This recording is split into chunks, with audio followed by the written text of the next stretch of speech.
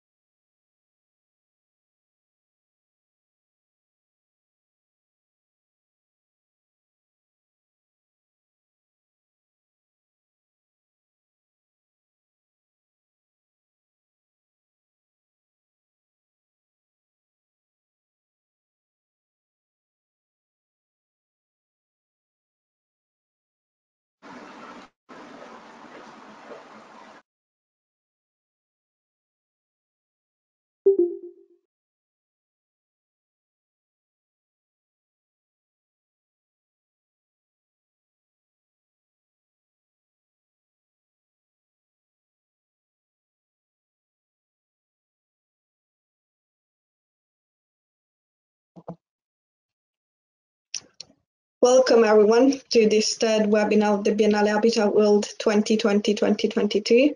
It'll be just a couple more minutes. We're waiting for one of our special guests and then we'll begin. Thank you for your patience.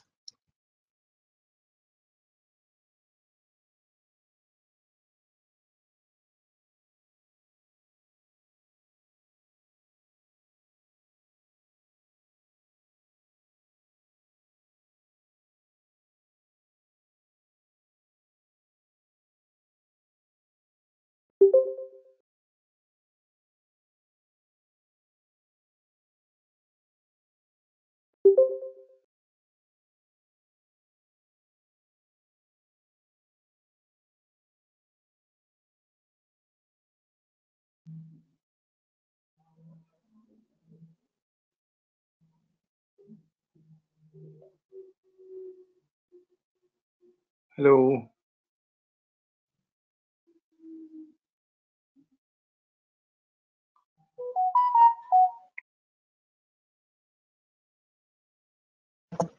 Hello everyone. Uh, thank you for your patience. We can now begin. So welcome everyone to this third webinar titled Human Values in Human Thinking in the Mediterranean, reflecting on changes, emerging issues and new horizons. We will soon be joining with the chairs of this digital conference, Clelia De Stefano and Riccardo Pietro Marvona. Kindly make sure that your microphones and webcams are closed throughout the webinar. You can use the chat box for messages to speakers and organizers. I thank you for your kind presence, which we greatly appreciate. Today's digital conference uh, is provided to you by Habitat World in collaboration with all our partners of the Mediterranean. Habitat World's mission is to contribute to the culture, social evolution and economic growth of the civilization by exploring the synthesis between art, nature, science and economics. Habitat World is committed to its mission in the Euro-Mediterranean region by pursuing a wide array of objectives, including the promotion of research, development and implementation projects, and the periodical organization of Biennale Habitat, which is seen as a forum for dialogue and development. Over a three-year period, Biennale Habitat focuses on exploring three main themes, heritage, environment and human values. They are expressed and developed through many activities, among which academic webinars, exhibitions, and collaborations with universities. I would like to thank everyone who has joined Habitat World in its endeavors and welcome any future collaboration and support. In particular, I would also like to mention Dr. Capra, scientist, author, educator, and activist, who could not be with us for this event but is close to Habitat World and all that we stand for. The chairs of this digital conference are Claudia De Stefano and Riccardo Marvona. Claudia De Stefano was born in Naples, where she studied hotel management. She has traveled, studied, and lived in different cities all over Europe, among which London, The Hague, Barcelona, and the Asturias, Paris, and in the Czech Republic. There, she has worked both in tourism and IT, learning and studying different cultures and languages. Recently, she has decided to move back to Italy, where she currently resides and is collaborating closely with Habitat World as the focal person to its international cooperation. Riccardo Marvona is the marketing manager of the main Italian electronics industry in Africa and the Middle East, and the facilitator of various companies for the entry into these very dynamic markets, both in uh, Africa and the Middle East, including Egypt, Tunisia, Algeria, Morocco, and so on. As Habitat World's delegate for Sustainable International Cooperation, he is a key in proposing civil war and social inclusion, health and education projects to Somalia by offering microcredit packages to reactivate small local economies and for more modern agriculture for the livelihood of small villages, facilitating access to drinking water to avoid intestinal disease, and creating the availability of renewable electricity for family and small industry. As a reminder, I would like to that you kindly make sure that your microphones and, web and webcams are closed throughout the webinar. And I will now leave the word to our chairpersons, Claudia and Stefano. Thank you.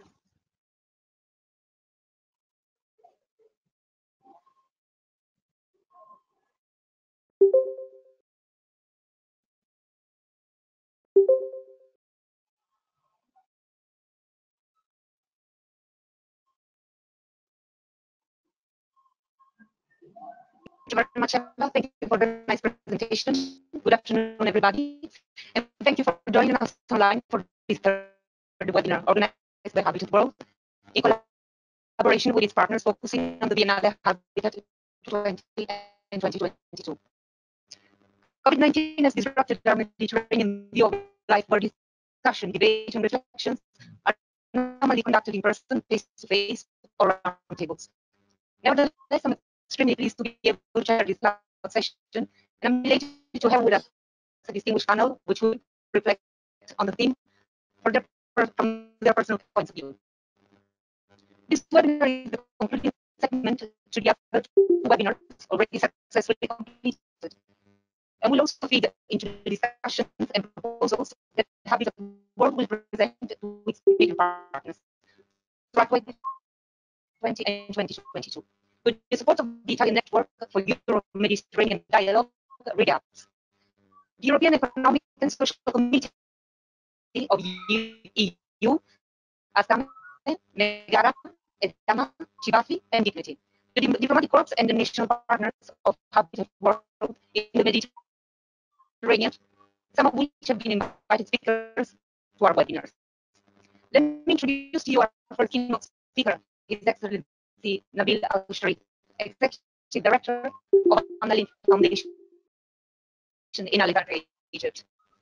His Excellency Nabil Al-Sharif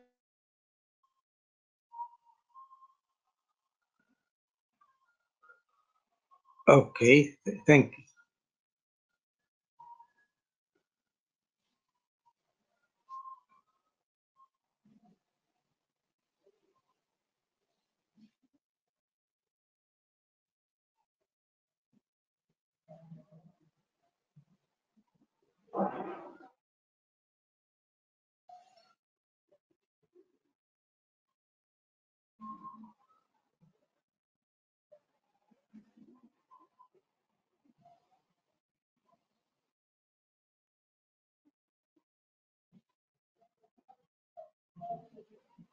Hi, sorry, I, there are some technical difficulties. I'll just pick up from where Clelia left off. So,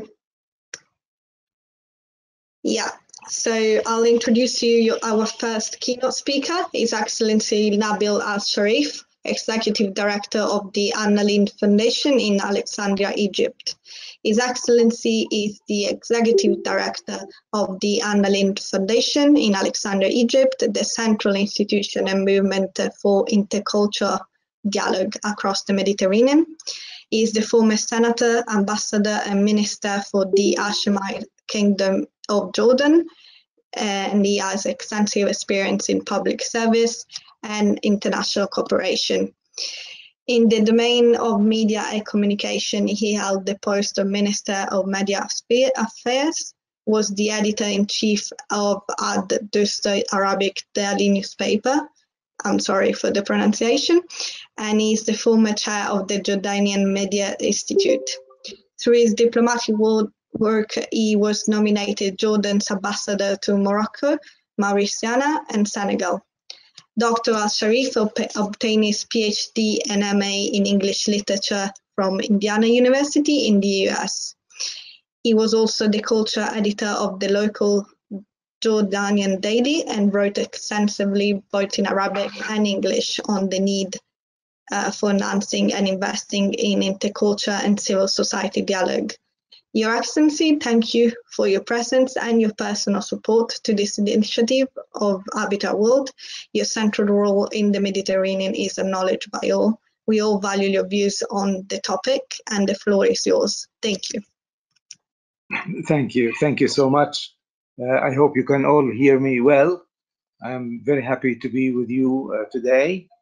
Uh, it's indeed a pleasure to take part in uh, the Biennale Habitat uh, 2020.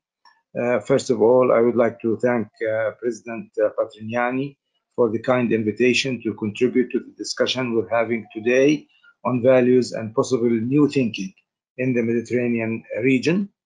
Uh, the reflections that I will be sharing uh, originate from the work, the consultations, and the research that we carry out at the Anna Lindh Foundation. To provide some background information, the Anna Lindh Foundation is the first institution created in 2004 to promote intercultural dialogue within the framework of the Euro-Mediterranean Partnership the headquarters of the organizations of the organization are in Alexandria, Egypt. In order to reach the greatest number of citizens with its action, the foundation works through a network, including a large network of civil society organizations in the 42 uh, countries of the region. Probably we have the largest civil society network of any other uh, organization. We have close to 4,000 uh, organizations altogether as part of the Anna Lindh Foundation. 15 years after the creation of the foundation and also in light of the current health crisis that we are all living in, whether south, north, east, or west of the Mediterranean, I believe that the mandate of the Anna Lindh Foundation is more relevant than ever. We believe that the pressing challenges of our societies related to the rising level of polarization and extremism, intolerance, prejudices, and barriers which hamper peaceful living in multicultural societies, as well as the spread of populist discourses uh, present themselves as even stronger threat today.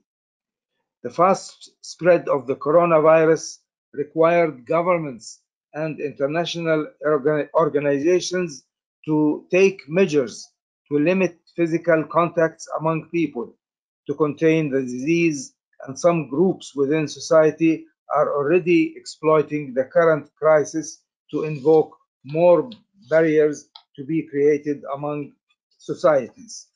At the foundation, we have carried out regular research into the value systems and inclinations to cultural diversity of the people around the Mediterranean since 2010 and collected data that allows us to scientifically identify main trends and areas where our action is more needed. Also in 2020, with the, with the collaboration of a professional polling company, we are also interviewing a Euromed sample of populations of thousands of individuals and before the end of the year we will be able to share data data on scientific information and analysis on the current uh, pandemic and related containment measures that are impacting our intercultural relations and people's values and attitudes. Nevertheless, I consider uh, important to share with you the picture of main values and attitudes of people that we have recorded before the current crisis, as well as the elements that are emerging from the broad consultations we are carrying out uh, uh, among educators, uh, youth, civil society, media, in relation to the promotion of intercultural relations in 2020. From the Intercultural Trends Survey and related analysis, a majority of Euromed populations make positive association when thinking of the Mediterranean region as characterized by a common lifestyle and cuisine. Over time, there is a sustained high level of appetite for mutual knowledge about cultural, political, economic, and social aspects uh, of life among the people of the two shores of the Mediterranean. We have also registered a good level of intercultural interaction as 53% of, uh, of Europeans and 30% uh, of uh, uh, people in the south and east of the Mediterranean face to face or virtually. There have there has has been at least 35% of either face-to-face uh, or virtual interaction, which leads to a more positive than negative change of perceptions of the other. The internet through social media is the first tool of intercultural interaction for people in the southern and eastern Mediterranean shore. Uh, passing now to some initial reflections emerging from the consultations carried out with our community of stakeholders in the last month, the pandemic has had more visible challenges related to diversity and mutual perceptions through an increase in racism, prejudice, and negative stereotypes. Particular concerns were flagged regarding discrimination hate speech, racial profiling, and fake news, especially on social media. Also, mobility limitations are undermining fundamental freedoms due to quarantines, lockdown, and travel restrictions. Lack of mobility opportunities is particularly frustrating young people. Another key point from our consultation is the sudden shift from face-to-face -to, -face to remote learning and virtual interactions, were more broadly shedding light on difficulties adjusting to, uh, to virtual formats and reaching target groups due to unequal access to the internet. Among disadvantaged and marginalized groups such as refugees and migrants in both European and Southern Mediterranean countries. This is reinforcing the digital divide, highlighting the need for investment in digital infrastructure, but also in the development of digital skills and literacy. Civil society at large is expressing the concern of access to funding. Uh, planning is becoming more challenging within an unpredictable time frame and with skills to be acquired to turn planned uh, work programs into virtual ones or with measures taking into consideration limitations on mobility. Uh, women are among those suffering most the consequences of the pandemic. There is also a risk to witness the gender imbalance growing even further with the economic crisis looming and closure of educational institutions is a serious threat. The Anna Lindh Foundation considers more important than ever to continue in its mission for fighting against gender stereotypes hampering full gender equality. On the other side of the analysis, the pandemic is also having some positive impact on intercultural relations, enabling people to step out of their comfort zone and uh, start rethinking of intercultural dialogue. The health crisis has Uh, enabled introspection and self-actualization of people's cultural perceptions and attitudes and in the majority of the Euro-Mediterranean countries, the Anna Lindh Foundation community has related the rising of solidarity initiatives and the media attention dedicated to these initiatives whose leaders are often young people, women, and migrants. We consider this a very important point to build the ALF message for dialogue and solidarity at the local and regional level. Uh, despite the consensus that we have registered at the ALF on the fact that uh, virtual exchange can help sustain intercultural relation, deepen existing relationships. I'm, I'm about to conclude to be a very powerful tool to counter the fueling of stereotypes across the region. Our st stakeholders have reiterated the importance of face-to-face social interaction, which cannot be replaced by virtual interactions. At the last point, based the recommendations by our civil society network within the current context, we need to support the development of organizational resilience, innovation, and digital skills, more localized work, and flexible funding models. I would like to conclude by saying that we are all people, civil society, governments, international institutions, north, south, east, and west of the Mediterranean region are going through an unprecedented crisis. But it is also the first time in modern history that people uh, far away from each other geographically can share the emotional level uh, uh, what their peers are feeling. That this gives us an opportunity to give new life to the Euro-Mediterranean partnership, responding to the main needs of societies with the tools we have and insisting on the importance of intercultural dialogue and inter international cooperation as a key to respond to these needs and challenges. Thank you so much.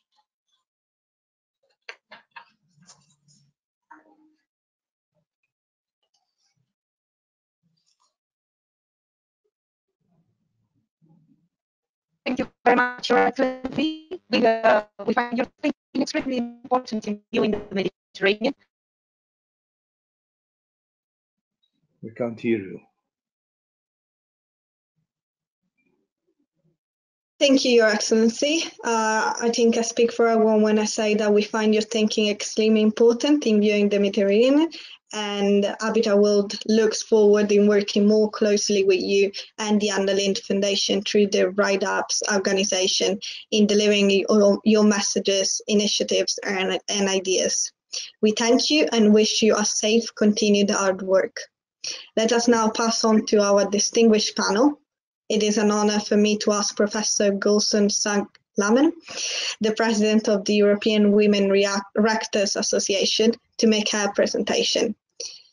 The professor is founding president of the Architectural Education Association and the founding president of the European Women Rectors Association. She has been a member of the editorial boards of Open House International and the International Journal for Housing Science and its applications. She has been on numerous architectural juries at both national and international level.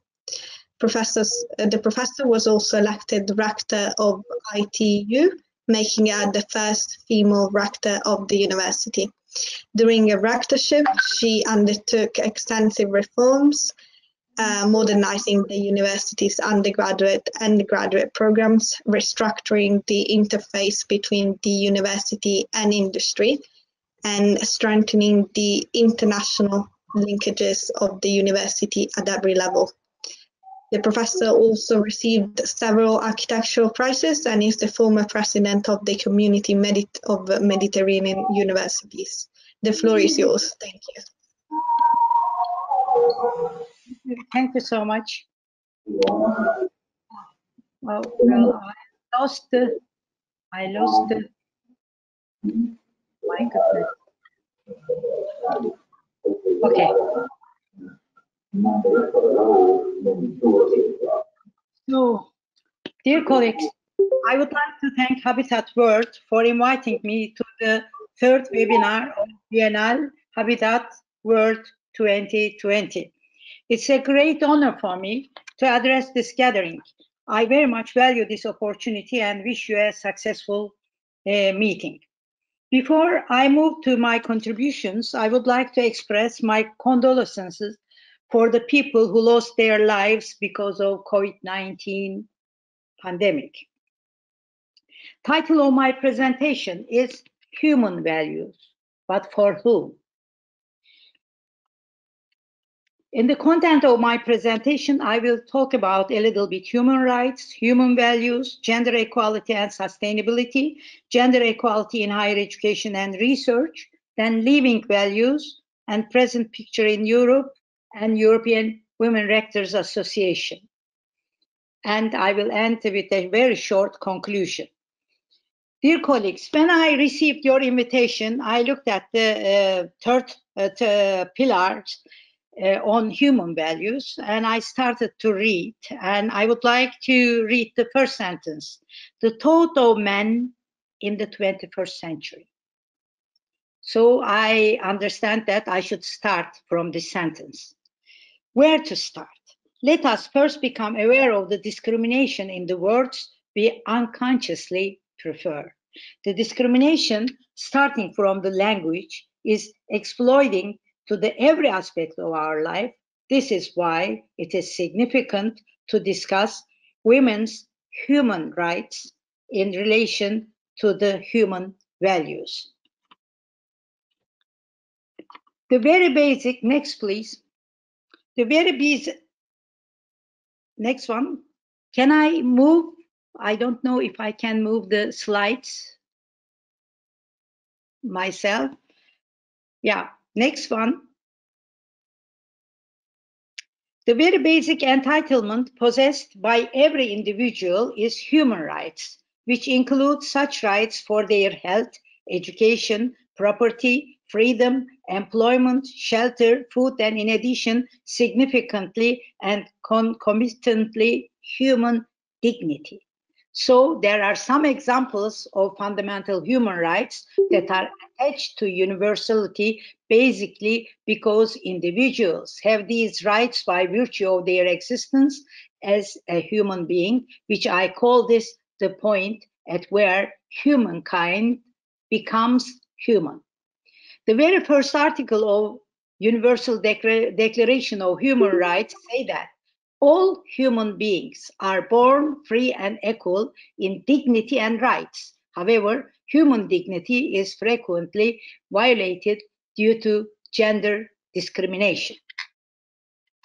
Next one, please. Many women all over the world find themselves treated unequally with respect to employment, bodily safety and integrity, basic nutrition and healthcare, education and political voice. In many cases, these hardships are caused by their being women, and in many cases, laws and institutions construct or perpetuate these inequalities.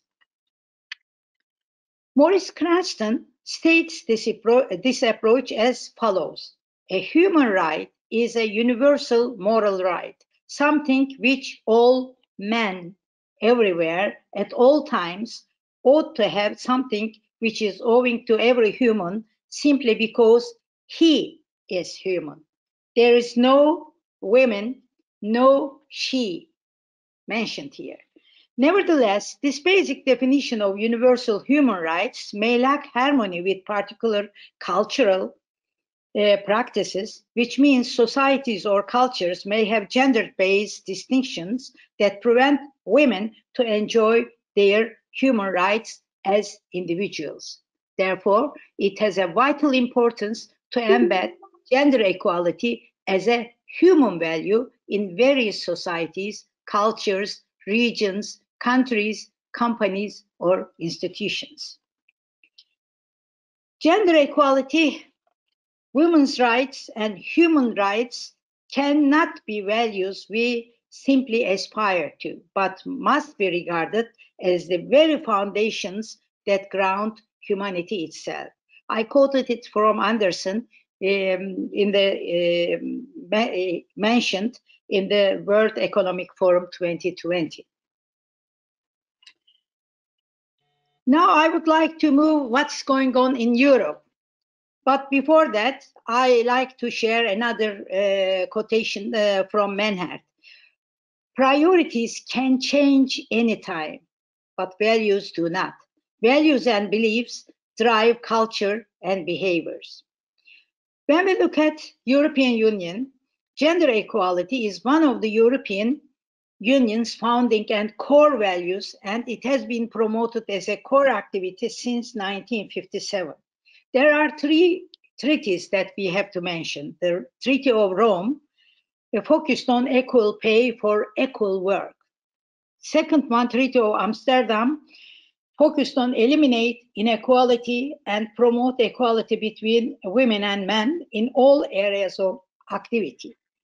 Treaty of Lisbon 2007-2009 bringing the obligation to eliminate inequalities and ensuring promoting equality between men and women also introduces gender equality as a determining factor for potential candidates for the accession to EU. This, this was a very important decision, I think. The European Commission's proposed 2020-2025 gender equality strategy aims at achieving a gender equal Europe where gender-based violence, sex discrimination, and structural inequality between women and men are a thing of the past. Europe where women and men, girls and boys, in all their diversity are equal. It includes six themes listed as follows. Being free from violence and stereotypes, thriving in a gender equal economy, leading equal, uh, equally throughout society, gender mainstreaming and intersectional perspective in EU policies, funding actions to make progress in gender equality in the EU, and addressing gender equality and women's empire, uh, empowerment across the world. Let us look at a little bit Habitat World. One of the main objectives of Habitat World is to contribute to the smart, inclusive, and sustainable development of societies. Accordingly, gender equality is the key to the development of peaceful, prosperous, and sustainable world. Putting women and girls at the center of economies will fundamentally drive better and more sustainable development outcomes for all, support a more rapid recovery, and place the world back on a footing to achieve the sustainable development goals.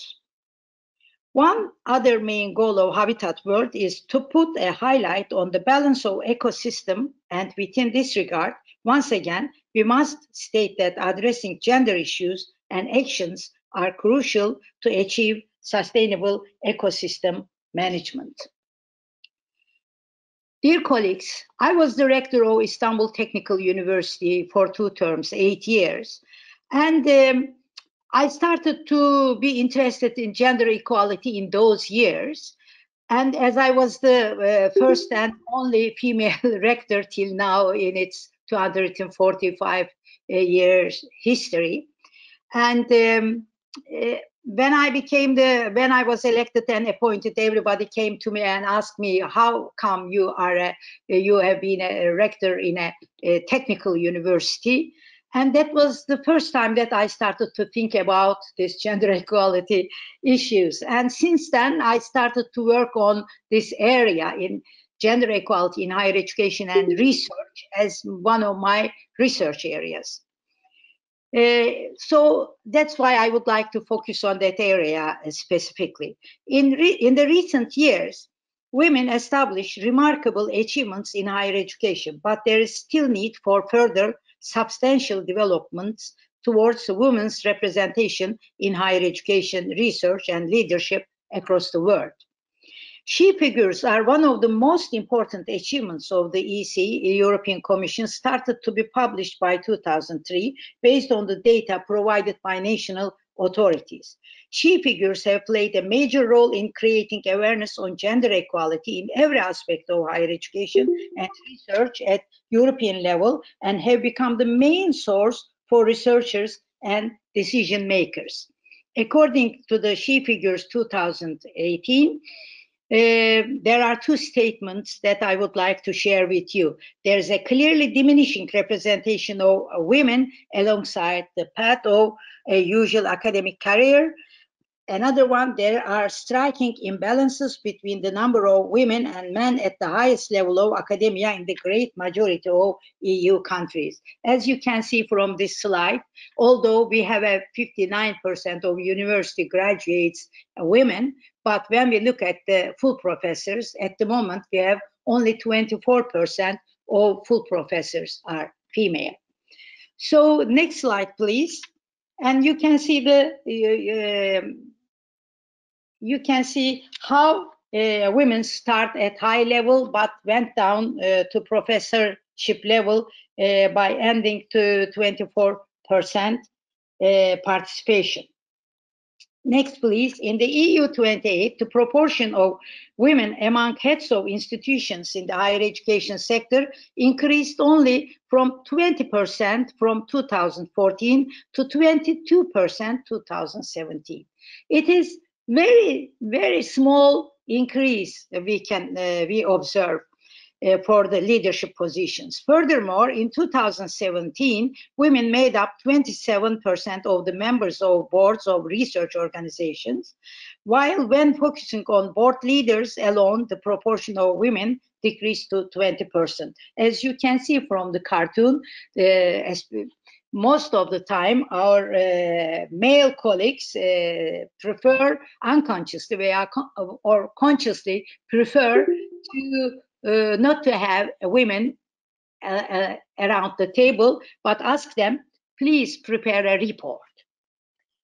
So I would like to uh, mention about Magna Charta Observatory's Living Values project, where equity is mentioned as an important value in, in this project.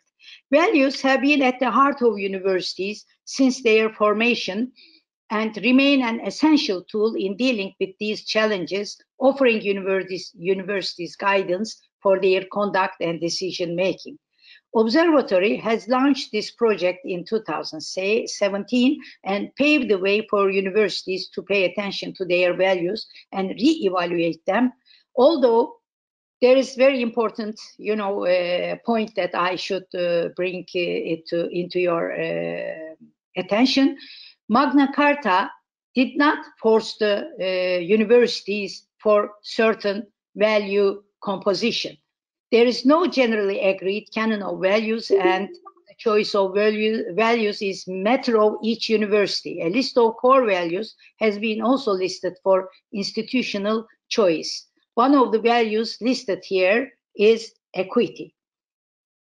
It includes equity of access to higher education with regard to socioeconomic background and the idea that the student population should represent the diversity of the society at large in terms of gender, ethnicity, age, religion, disability or sexuality, and also regarding social backgrounds. So we have the general picture now. What needs to be done after the integration of the equity as a fundam fundamental value?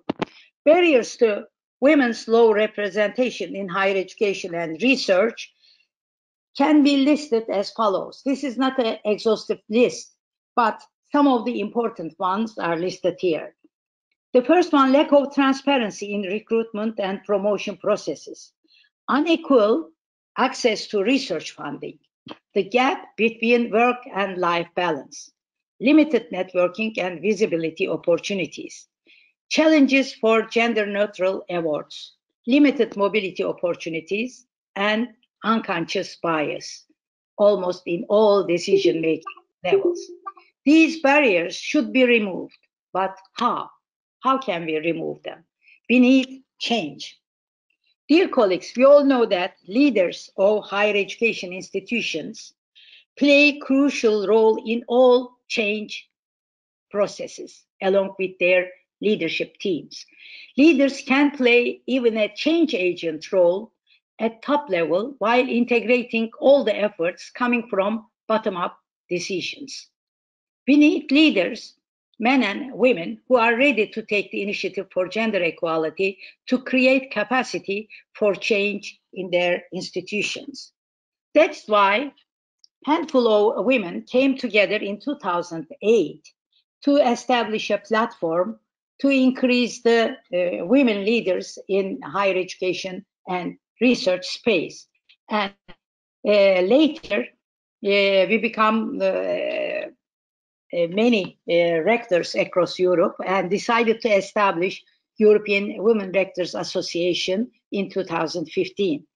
EWORA is a full-fledged international non-profit association established in Brussels under Belgian law in December in 2015 to promote the role of women in leadership positions in the academic sector, to uh, advocate gender equality in higher education and research, at European and international scales.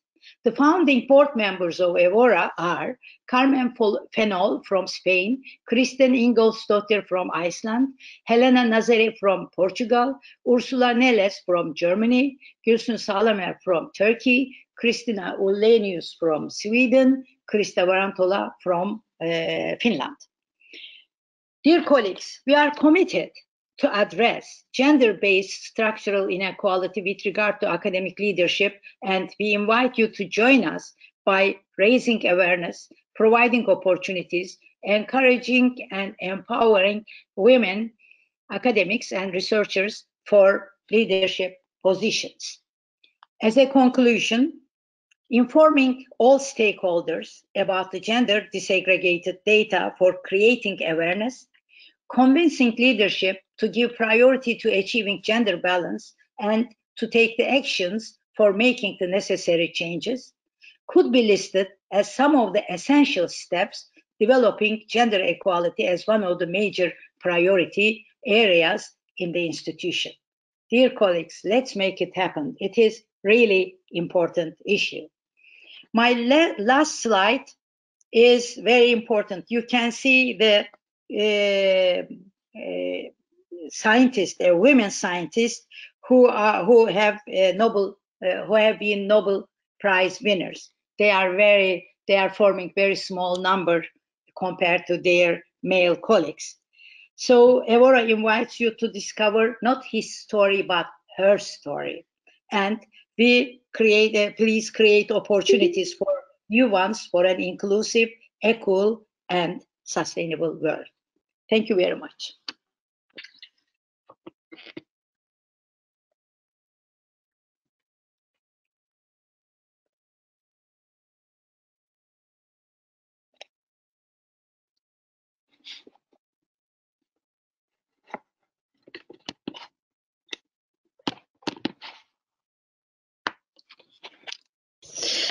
Thank you.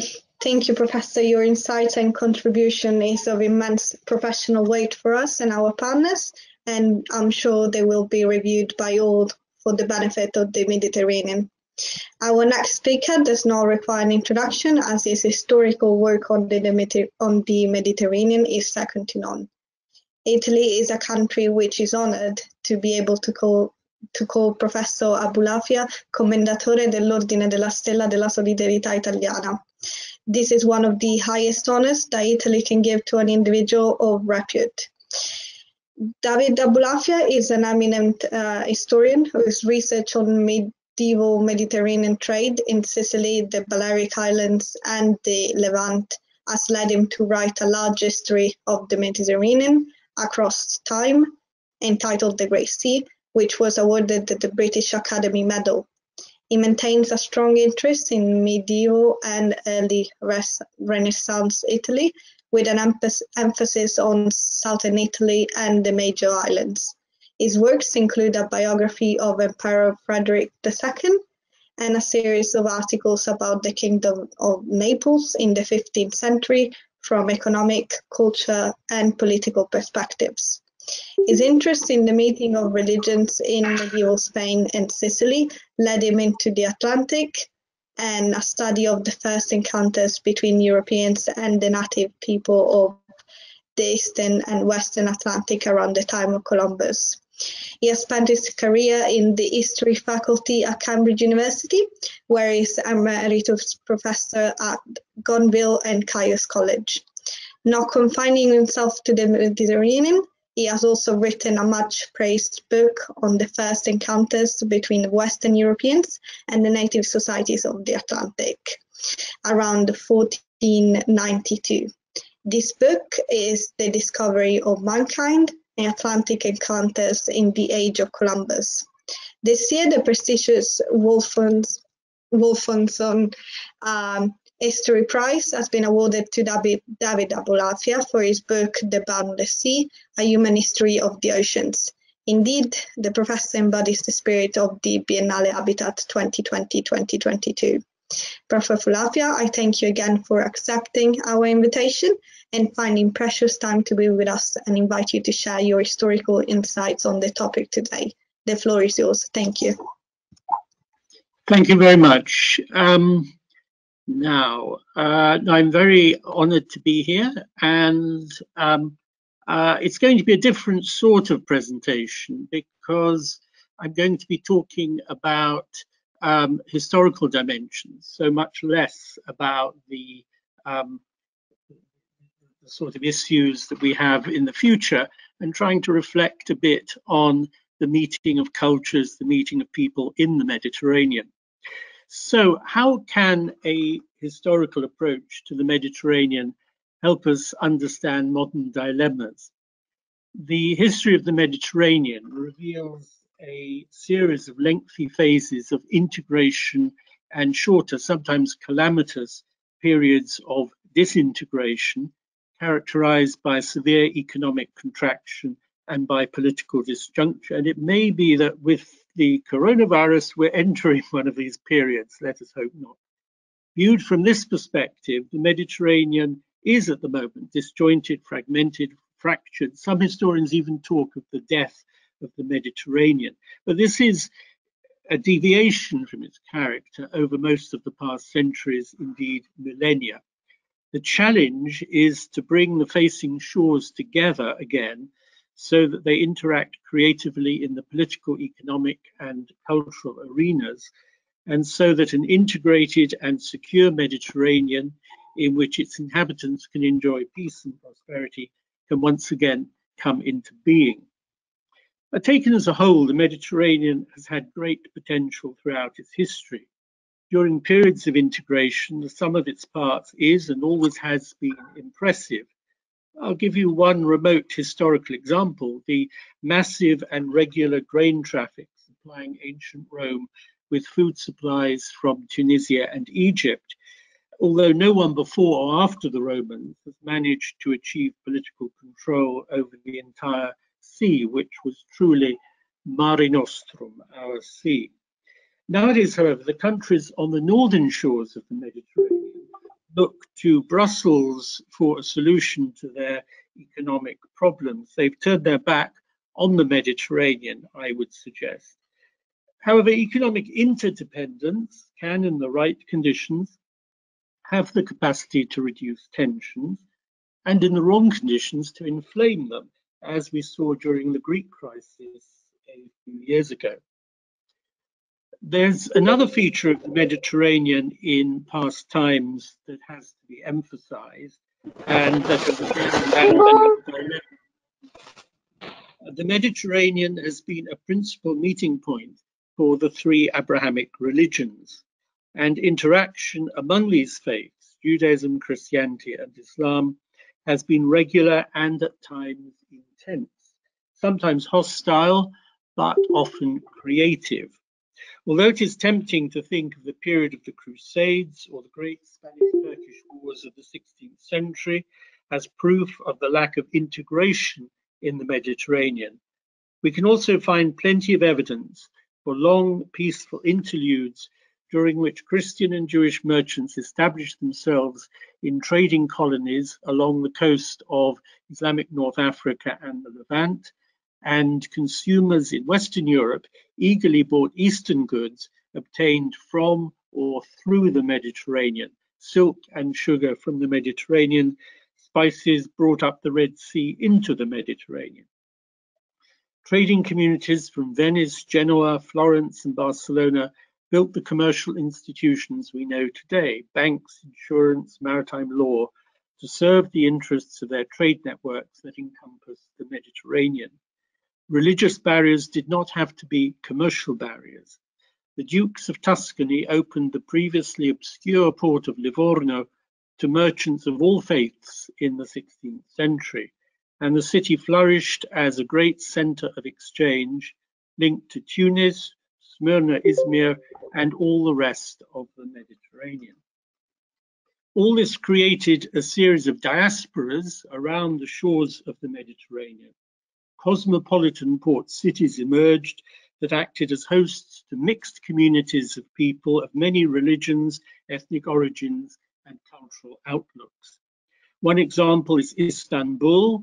For the area north of the Golden Horn, Pera Galata was home to thousands of Italian merchants in the Middle Ages and after.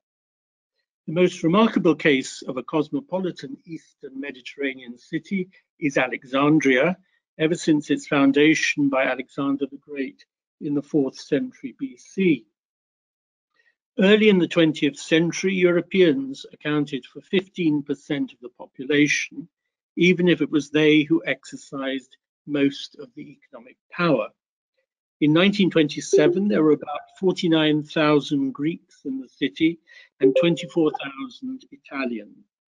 Overlapping with various nationalities, there were 25,000 Jews. Influential Muslim families, including the royal family, hailed from Turkey, Albania, Syria, or Lebanon. It is interesting to observe that they, as much as the settlers of European descent, wished to identify strongly with European, particularly French, culture and to acquire European technology. Indeed, the 19th century ruler of Egypt, Ismail Pasha, went further and expressed the view that Egypt must become part of Europe, I quote. The city was seen as a bridge linking Europe to Africa and Asia, and the Latin phrase Alexandria ad Aegyptum was understood to mean Alexandria on the way to Egypt, next to Egypt, rather than in Egypt.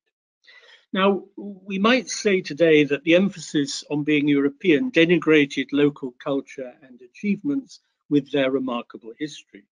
But we can also recognize that the attempt to create a common world was not simply the product of aggressive colonialism. Nationalist movements within the multi-ethnic Ottoman Empire beginning in 19th century Greece challenged this pluralistic outlook. In an age of rising nationalism, expulsion, flight from danger, forced assimilation, even mass extermination, in the case of the Armenians in Smyrna, Izmir, and the Sephardic Jews of Salonika, Thessaloniki, transformed one city after another in the old Ottoman realm. And by the 1950s, the port cities of the Eastern Mediterranean had largely ceased to be places of ethnic and religious coexistence. Meanwhile, Ottoman sovereignty in North Africa, often more theoretical than real, was replaced in that area by direct colonial rule by competing powers based in Western Europe. In the era of colonialism, starting with the French conquest of Algeria in 1830, the new rapport was created across the Mediterranean, a hegemonic one that insisted on the more civilized, evolue character of the northerners as opposed to the inhabitants of its southern shores. In, by 1881, when a French protectorate was created in Tunisia, the region already contained 70,000 Italian settlers, many from Sicily, and 12,000 settlers from the tiny island of Malta, the British island. By the time of decolonization, following the Second World War, the European colonies in North Africa were home to one and a half million settlers from France, Spain, Italy, and elsewhere, with well over a million in Algeria alone. Among the Algerian settlers, only a minority could actually claim a French origin, and this sense of common Latin, but not French origins, was reflected in the colonialist boast that the settlers were restoring Latinity to the Mediterranean 1500 years after the fall of the Roman Empire. Yet the colonists' descendants were to depart, to depart back to Europe in the second half of the 20th century, along with large numbers of indigenous inhabitants, many of whom settled on the northern shores of the Mediterranean, above all in southern France. Tensions generated in North Africa during the era of decolonization were then transferred to cities such as Nice and Marseille. The emancipation of the colonized from the colonizers in the second half of the 20th century has had several important effects, most notably the fracturing of the Mediterranean into northern and southern zones that, to a large extent, operate apart from one another.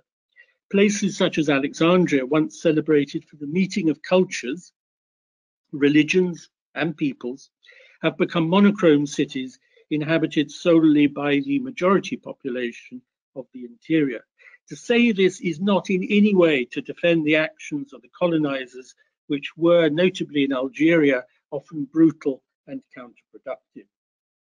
However, decolonization coincided with the attempts of the Soviet Union to establish a foothold within the Mediterranean, creating political and economic alliances that accentuated existing tensions within the eastern Mediterranean, notably that between Israel and its Arab neighbors. The Jews, in particular, disappeared from all those lands in the Mediterranean where they had formed an integral and highly productive part of a larger society, countries like Tunisia and Morocco, Algeria, migrating to one embattled corner, Israel, or sometimes to France, bringing to an end a 2,000 year history of diaspora around the shores of the Mediterranean.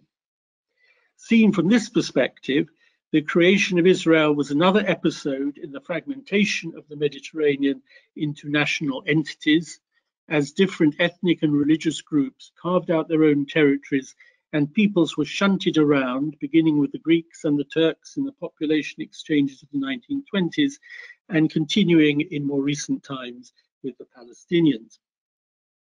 The disparities in wealth between the northern and southern shores of the Mediterranean have, of course, stimulated an intensive, generally illicit human traffic across the sea. This is something we might want to stop and think about later.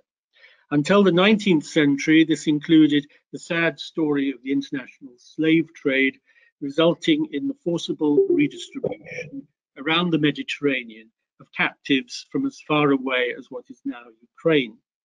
Much more recently, the Mediterranean has become the theatre in which many migrants from Black Africa have tried, often at the risk of their life, to enter the wealthy lands of the European Union.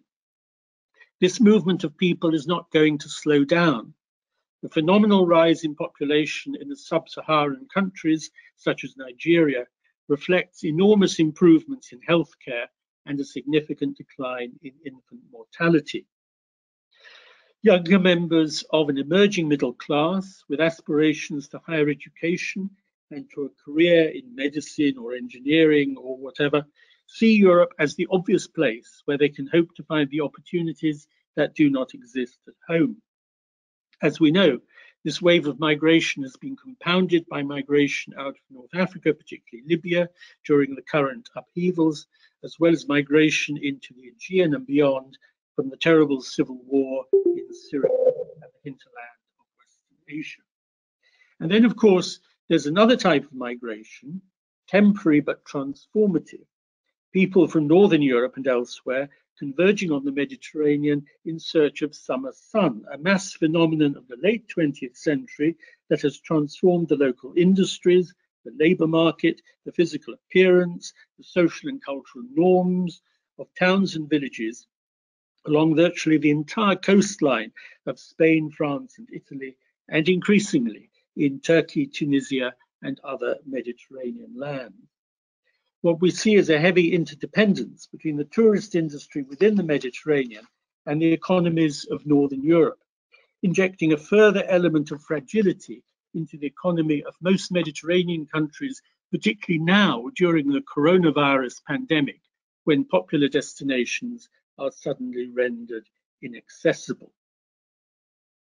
Meanwhile, the lands on the northern flank of the Mediterranean have seen their destiny as a European one, turning their backs on the Mediterranean to participate in a European Union whose strongest economies lie away from the Mediterranean.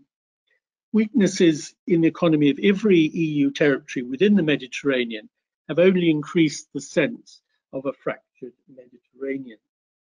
The big question to me is how the relationship between the northern and southern shores of the Mediterranean can be reconstituted. Increasing wealth among the Moroccan middle classes still has to be matched by a massive improvement in the condition of the urban and rural majority. Libya would have the chance to benefit from massive energy resources if peace were to come, but the prospects seem poor. The coronavirus crisis means that resolving the relationship with the non-EU countries around the Mediterranean will become an even less significant priority for the existing members of the Union, with all that implies for the people who actually live in the Mediterranean. Prospects for the creation of tight bonds linking all the Mediterranean countries and peoples in common enterprises fade. The 21st century Mediterranean remains therefore broken and in need of repair. Thank you very much.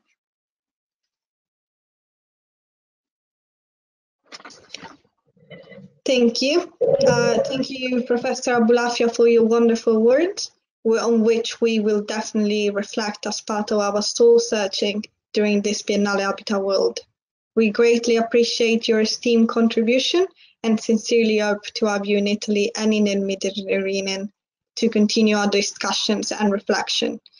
I'll leave the, the word to our chair, Clelia De Stefano, to introduce our next speaker. Thank you.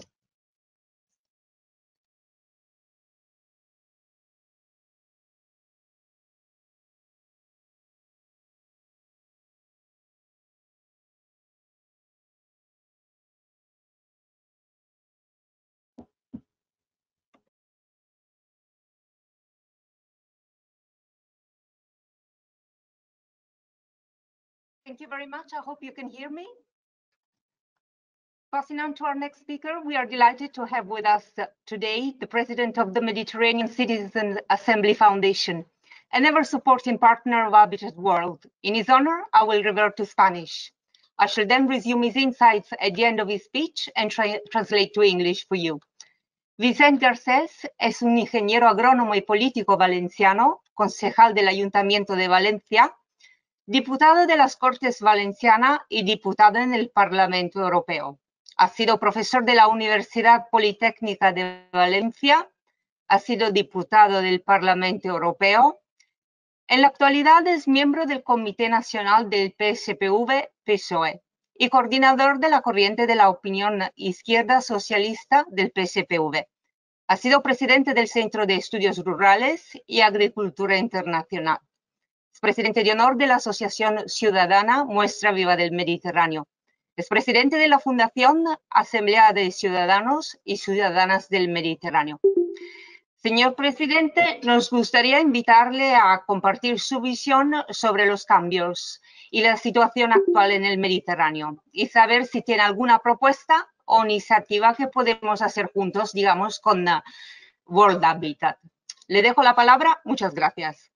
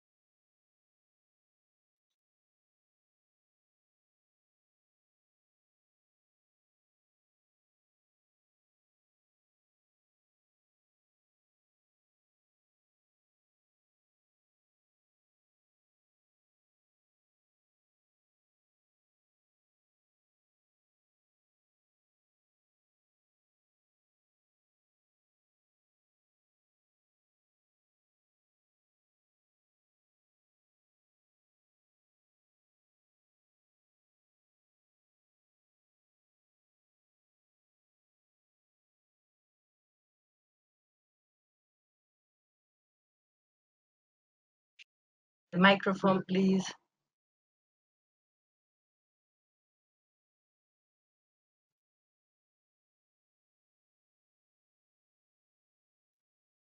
Vuelvo a empezar.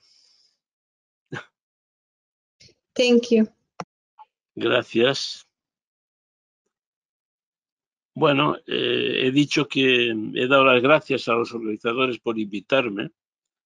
Gracias también por darme la oportunidad de hablar en español. Es una prueba de la riqueza lingüística y cultural del Mediterráneo. Y estaba diciendo que la Fundación Asamblea de Ciudadanos y Ciudadanas del Mediterráneo es una organización no gubernamental constituida, como su nombre indica, por ciudadanos y ciudadanas a título personal. Es eh, una fundación con personalidad jurídica constituida en, España, en Valencia, y que está articulada como red a través de 29 círculos ciudadanos que están presentes en 20 países del Mediterráneo.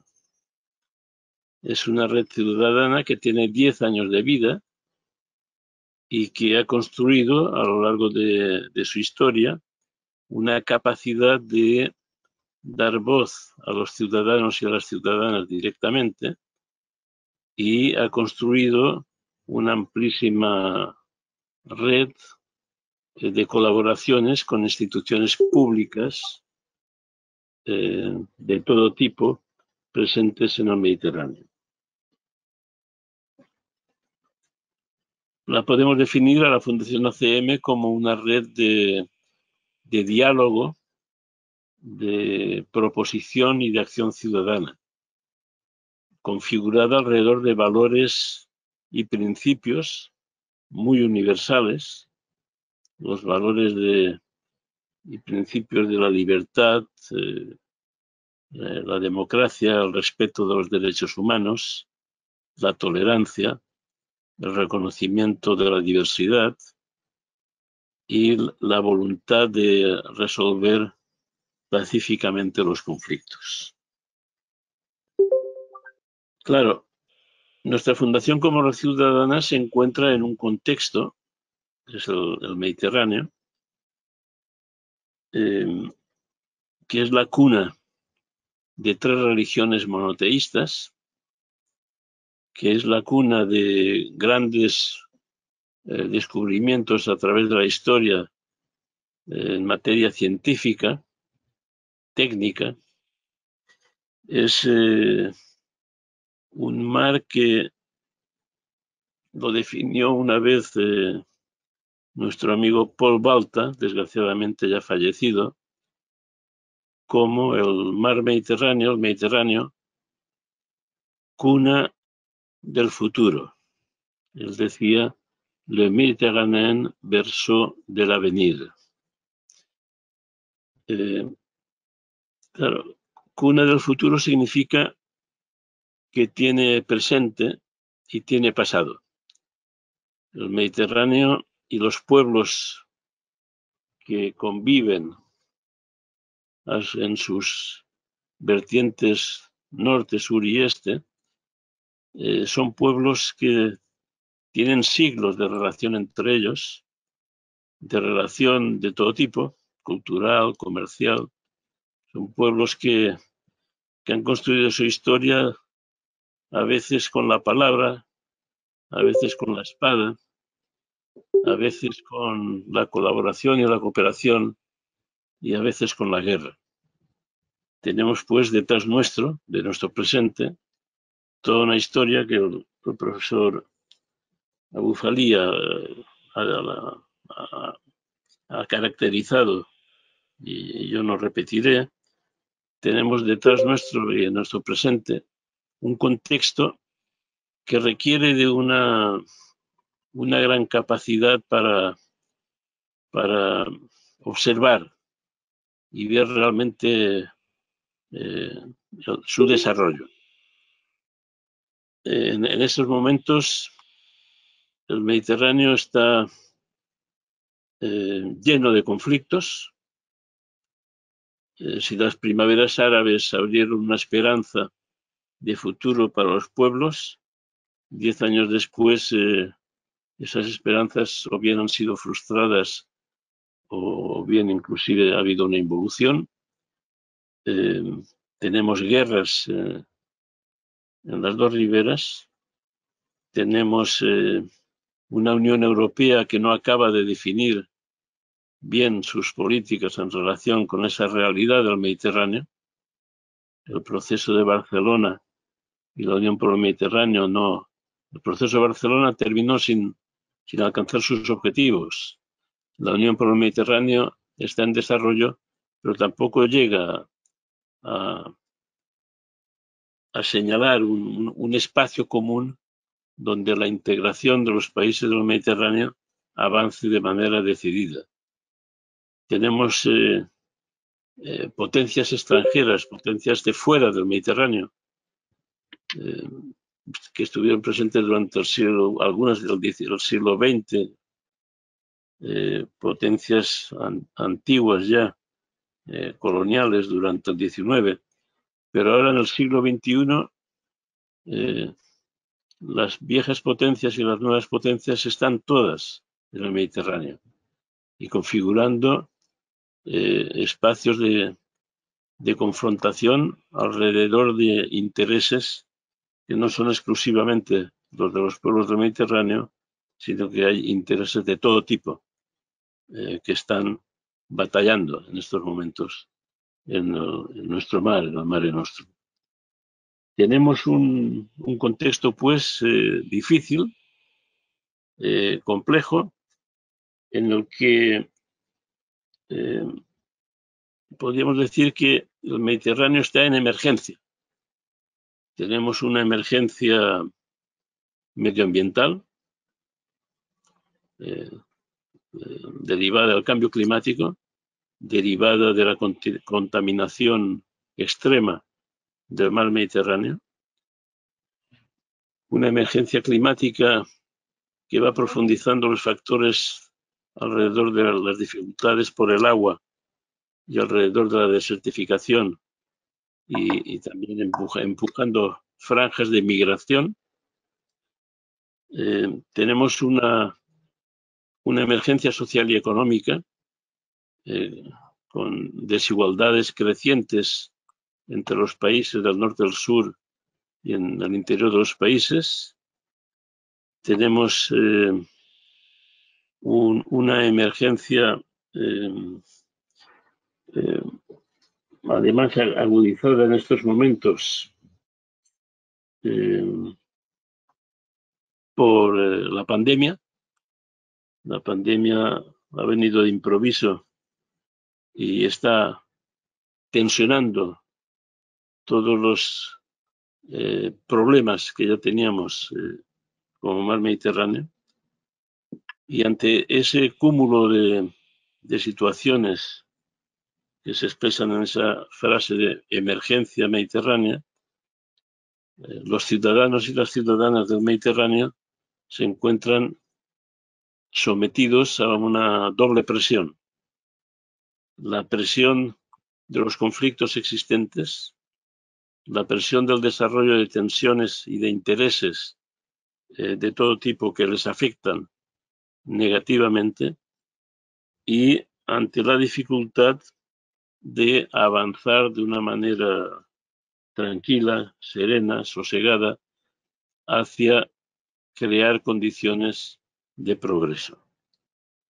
Eh, nosotros como Fundación de Ciudadanos y Ciudadanas del Mediterráneo decimos que eh, practicamos la diplomacia ciudadana, es decir, expresamos la voluntad de caminar hacia eh, puntos de integración de los pueblos del Mediterráneo, hacia una comunidad de pueblos del Mediterráneo, eh, pero también observamos las enormes dificultades para esos avances.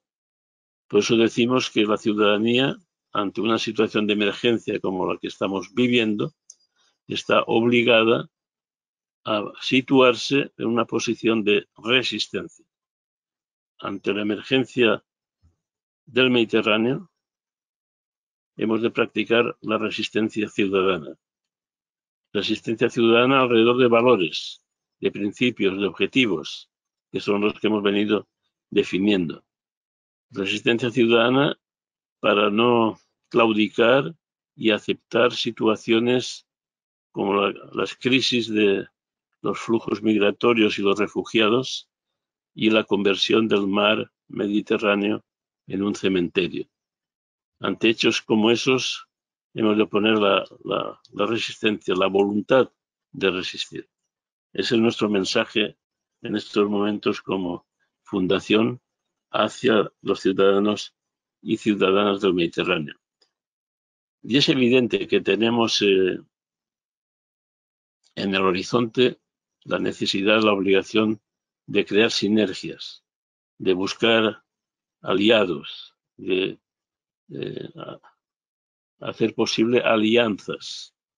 Eh, pues el World Habitat sin duda tiene que ser eh, eh, un eje de esas alianzas eh, de futuro. termino diciendo que, em,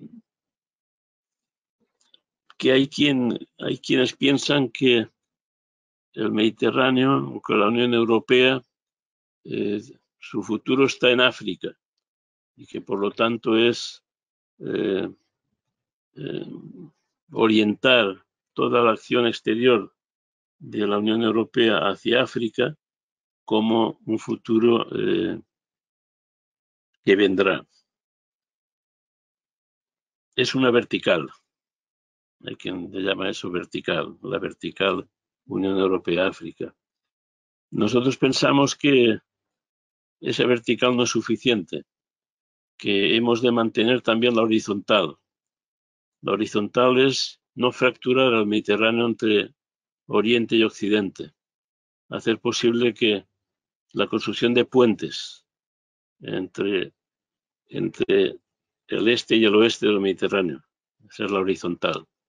Entonces el Mediterráneo está en el cruce de la vertical y la horizontal, y en ese cruce es donde estamos nosotros, los mediterráneos, y es ese cruce el que hemos de fortalecer con esa perspectiva de construir una comunidad de pueblos del Mediterráneo.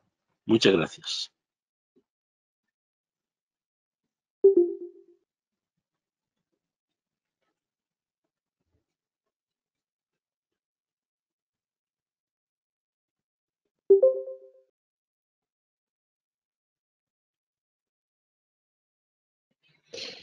Muchas gracias and thank you for that um, for that presentation. Uh, the points uh, will be summarized of your speech in the chat box. So For those of you who don't speak Spanish, uh, you will have a short summary in the chat box for your information. Our next honor speaker is Linda Tinio-Le Douarin, a seasoned international expert at UNESCO. Linda is the coordinator of the International Coalition of Inclusive and Sustainable Cities, uh, ICCAR, a UNESCO platform that advocates for global solidarity and collaboration to promote inclusive urban development free from all forms of discrimination. Since April 2020, she has created and organized a series of webinars entitled Inclusion in the Time of COVID-19 uh, that address racism, uh, discrimination and exclusion. For over a decade, she has been working with UNESCO on a diverse and challenging range of critical issues from human rights, gender equality, and the fight against racism and discrimination. She was a member of the Foresight section team working with futurists uh, from around the world and organizing UNESCO's future forums and lectures. She has lectured and published works on the evolution of human rights, including uh, uh, uh, in the in Southeast Asia. Madam, it is a pleasure to have you with us today for this webinar. It would be a great honor to hear your views on the topic from the point of view of the International Coalition of Inclusive and Sustainable Cities of UNESCO. Are there any new initiatives that we can do together with UNESCO within the Biennale during the coming years? I'll leave the floor to you. Thank you. Thank you very much. Yes, good day, everybody. I am uh, honored to be part of this distinguished panel of speakers. First of all, let me thank the President Annika Patregnani and the rest of her team in Habitat World for having invited UNESCO to be part of this online conference. Um, as you may know, uh, UNESCO is the UN agency in charge of uh, the education, sciences, culture, and communication. And uh, now, with my participation, I would like to give a perspective from the social and human sciences sector of UNESCO. I have a short um, presentation. Uh, yes, can you see the slides? Yes. So I would, thank you very much. I would like to uh, give you a perspective uh, from the city level because this is what is one of the platforms that uh, UNESCO is working with. It is called the International Coalition of Inclusive and Sustainable Cities. It was launched in 2004 under the original name of the International Coalition of Cities Against Racism. That is why we have the acronym ICCAR. It was uh, launched uh, during the uh, World Conference Against Racism in Durban. And uh, since then, it has grown to be a global network of more than 500 cities around the world. So what is the platform doing? It is a platform that aims to put a global front against racism and discriminations by using different mechanisms through inclusive policymaking processes, through different capacity building mechanisms, working with social and um, civil society actors, and also with universities. It is also a platform where we could conduct different advocacy initiatives, awareness raising campaigns against racism and discrimination, and of course, to build a larger community of practice of social actors around the world that fight against discrimination and its different forms. Now, each city is uh, committed to a 10 point plan of action. Uh, this is a set uh, of commitments of the cities that are um, um, pertaining to the different anti-discrimination policies against um, uh, racism uh, related to the education sector, related to employment, uh, to cultural activities, and to housing. I would like to show you the different um, uh, 10-point plans of action in the European coalition, for example. So I will not be reading the 10-point plan of action, but you will see that these are different commitments to which the cities adhere to so that all citizens and including those that are in the most vulnerable of situations are able to live in social harmony and in social cohesion in the urban space. So this is the example of the 10-point plan of action in the European coalition. And in the next slide, you will find the similar set of commitments of the 10-point plan of action in the coalition of Arab cities. So you can see that um, there are different uh, cities, of course, in the European coalition and in the Arab region where uh, the Mediterranean region is uh, located. So there are different exchanges between these different cities. Our main thrust is that these cities work together with the same vision of having an inclusion and uh, diversity pillar in the construction of the urban space. Now, um, in the different regions of the coalition, uh, we have established different activities that are based on the commitments of the Global Steering Committee. The next slide, please.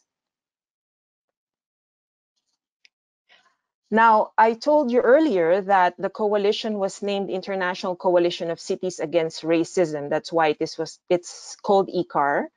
But given the new sustainable development goals that the international community adopted and with the new urban agenda also adopted in Habitat 3 in 2016, ICCAR has expanded its mandate in order to look into the different kinds of discrimination.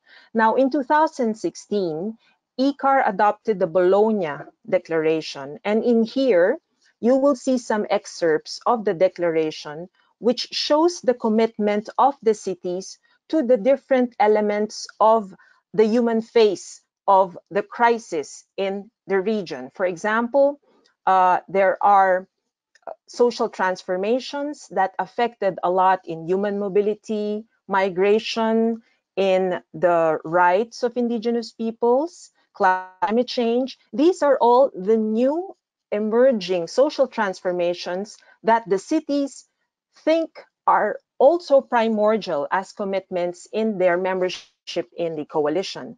Now, the next declaration, next slide, please was adopted in Nancy in France in 2018.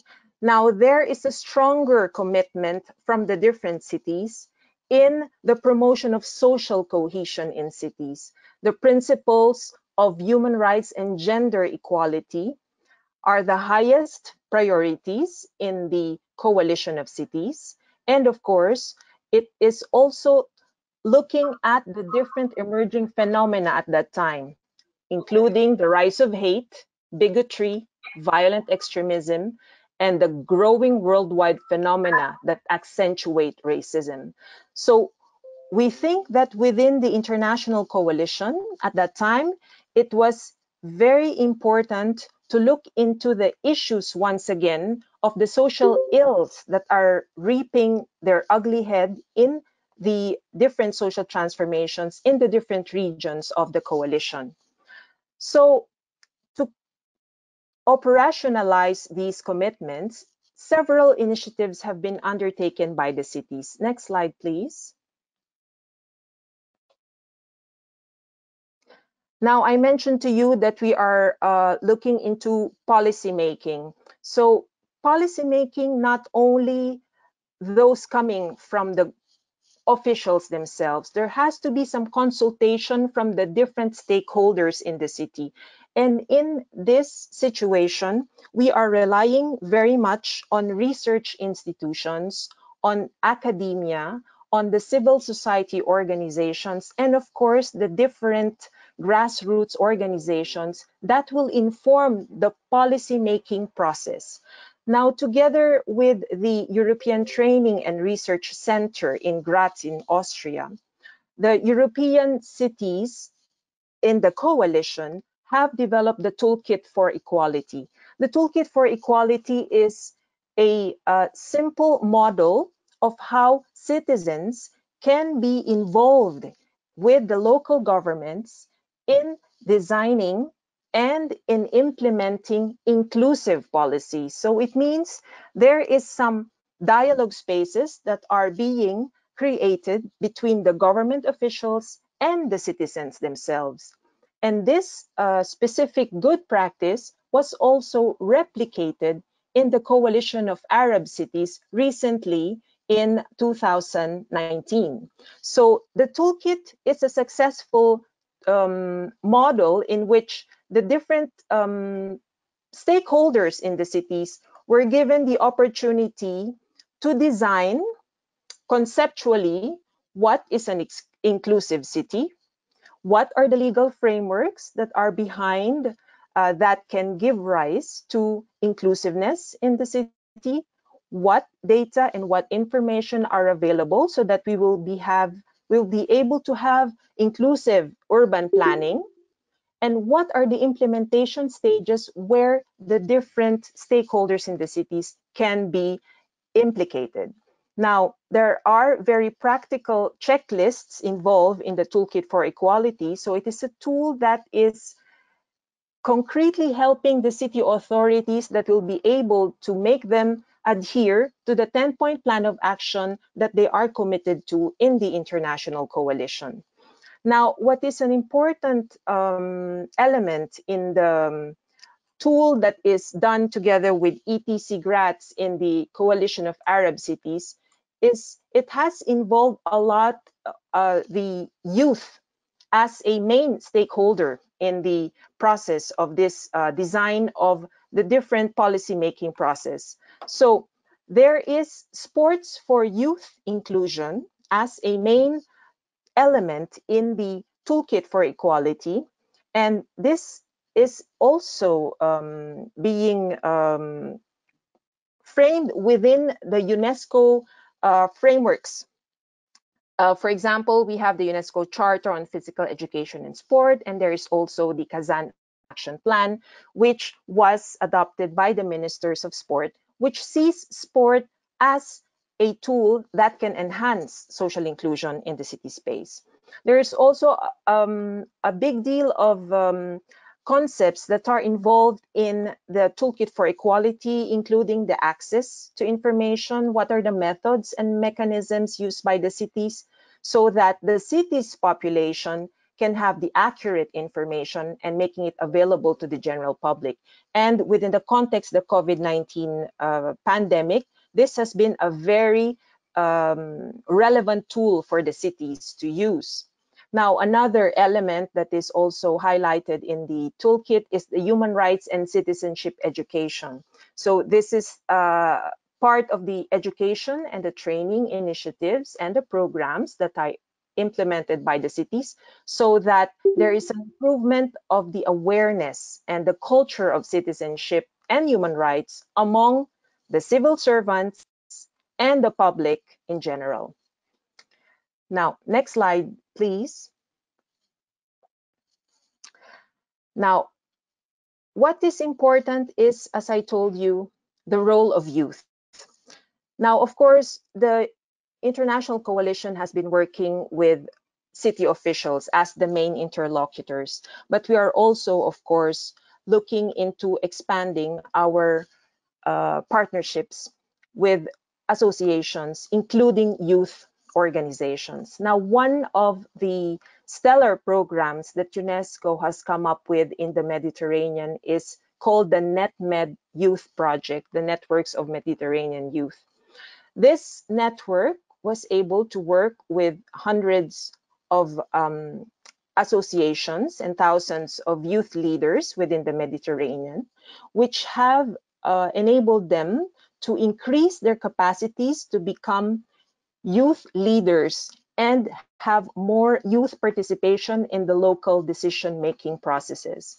This has been a, uh, a successful program where the visibility of youth, not, not only as actors where we invite so that we are able to have youth tokenism in our programs. No, we wanted the youth leaders to be themselves implementing their projects that they are designing themselves. Now, another very interesting UNESCO project, which is still uh, ongoing, is the Youth Employment in the Mediterranean Project. So it develops the technical and vocational uh, capacities of youth in the Mediterranean so that they will be able to find the skills needed for their well-being and to enhance their employment opportunities.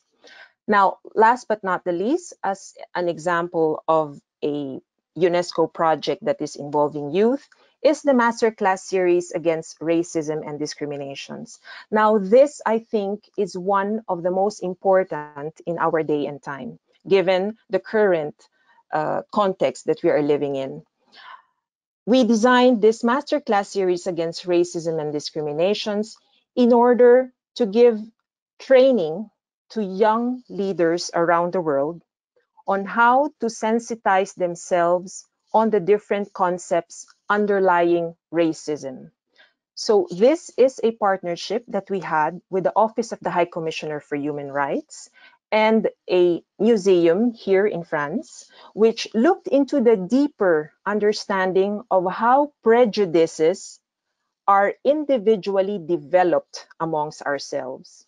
It is a deconstruction of our own psyches that lead to racist attitudes and behavior. We are currently trying to scale up this masterclass series and uh, using an online forum. Now, within this context, we are we are organizing one actually next week on July 21st, uh, and um, there is a possibility that we will be doing this uh, perhaps physically in the autumn. And we think that this is a very relevant exercise so that the youth leaders will be able to understand how to deconstruct racism themselves so that they will become their own uh, trainers in their own schools and in their own communities. Um, what we think now is the vision of the social and human sciences of UNESCO as we face the different challenges. Uh, maybe we can call it post COVID 19, or we can call it, as UNESCO says, the next normal. But what we think is as we face the rapid urbanization process and within the context of the uh, of uh, the COVID-19, this what we call the urbanocene era. I think the vision is that we have to look into the human face of social transformations, the human face of rapid urbanizations, so that we will be able to highlight all the human values and the human thinking that need to be anchored in the construction of our futures. We are looking at the international coalition as a platform so that we could build a values-based governance, which is, of course, uh, strengthened by the values of justice, equality, anti-discrimination, and inclusion. Now, as I also mentioned, um, involving the wide citizenry and those of the vulnerable populations is an important tool in making that making sure that this human face of urbanization gets the proper um, uh, attention in how we build and construct our new societies.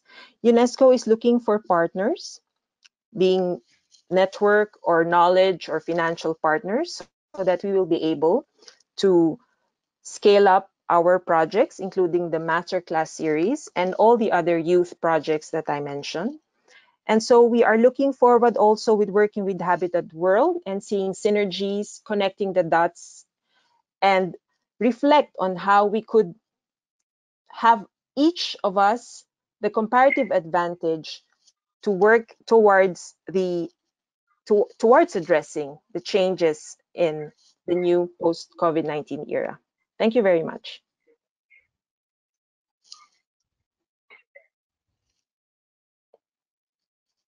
Thank you, Madam. I'm sure that your contribution is significant for many of us working in this field. And Habitat World pledges its utmost support and assistance to the implementation of your suggestions. Our next honor speaker is Carlo Triarico. Those of us, for those of us in Italy, I'm sure uh, we've been following his work in Florence and in the media. The doctor is a world-renowned um, history and of science specialist, president of the Association of Biodynamic Agriculture, and vice president of the FEDERBio organization. He is the director of the Institute of Specialization in Agri Agriculture and president of the AgriFound Foundation, a member of the Permanent Research Committee of Bioagriculture and Biodynamics for the Ministry of Agriculture in Italy. Many of you follow his splendid writings on the Osservatore Romano, where his intellect, insight, and views are widely respected. He's also a scientific counselor of the Italian Research Foundation in Biological Agriculture. He also has an academic background at the Universities of Florence, Naples, Pisa, and at the Max Planck Institute in Berlin. As president of the Biodynamic Agriculture Association and the director of the Institute in Florence, what are your views of the topic of today? I'll leave the floor to you. Thank you so much for your presence. So thank you. Can you hear me? Is is is well? Okay. Uh, I, I I want to say something about uh, uh, our position, like uh, farmers and, and, and people in general about the trademark uh, and about food and freedom. And uh, okay, my, my, starting question is um, whether we still need to follow bilateral relations between states or can we work towards uh, um, multilateralism uh, Italy, for instance, Italy, which lies in the Mediterranean Sea, has preferred the Atlantic relationship, we know, and uh, it has neglected the, the Mediterranean. Um, the bilateral free trade treaties under discussion now between, between Europe and, uh, for instance, United States, but uh, also Canada, Mexico, and uh, even China highlight a, a, legal vacuum in the face of great change uh, and the, the, the, lack of a global governance. We have, uh, we, we the, the, farmers, but we the people, we have no institutions to define the, the treaties. negotiation, uh, as known, uh, take place and not in, in institutional forums, are attended by unknown um, lobbyists in the, in, in the, are secret. There is no right to knowledge about them. The issue is even uh, the, the, the, issue even more important uh, if uh, when when the most delicate barriers uh, they break down are not um, uh, border taxes but principles workers' rights, uh, food safety or health, uh, environment, etc. The treaties uh, provide that the right of reciprocity for the free entry of certain goods is obligatory, even if they are obtained in violation, violation of principles of production of the importing country. But there is also a more important issue, I, I think. There is a, the possibility that the violation of certain principle, uh, while leaving the material consistencies of the goods untouched, may contaminate them uh, on an ethical level through uh, unfair processes. that uh, are uh, made during their production, when goods are considered just material entities, the, we cannot refuse them to import uh, these goods. Uh, if we do that, could appear to be an unjust, unjustified um, impediment to free trade. However, new questions need to be asked. If a commodity it's uh, merely a, a material extensions, does a community have the right to react it on the basis of its spiritual substance? For example, when it was produced in a country where workers' health and environment were not respected, is it right to recognize and respect that decision? Bilateral treaties already have an answer to this question, and it is negative. If there is a local measure to uh, Uh, as, I, as, uh, as uh, I say protectionism of rights, they provide through arbitration courts where producer can bring states and obtain compensation for lost earnings.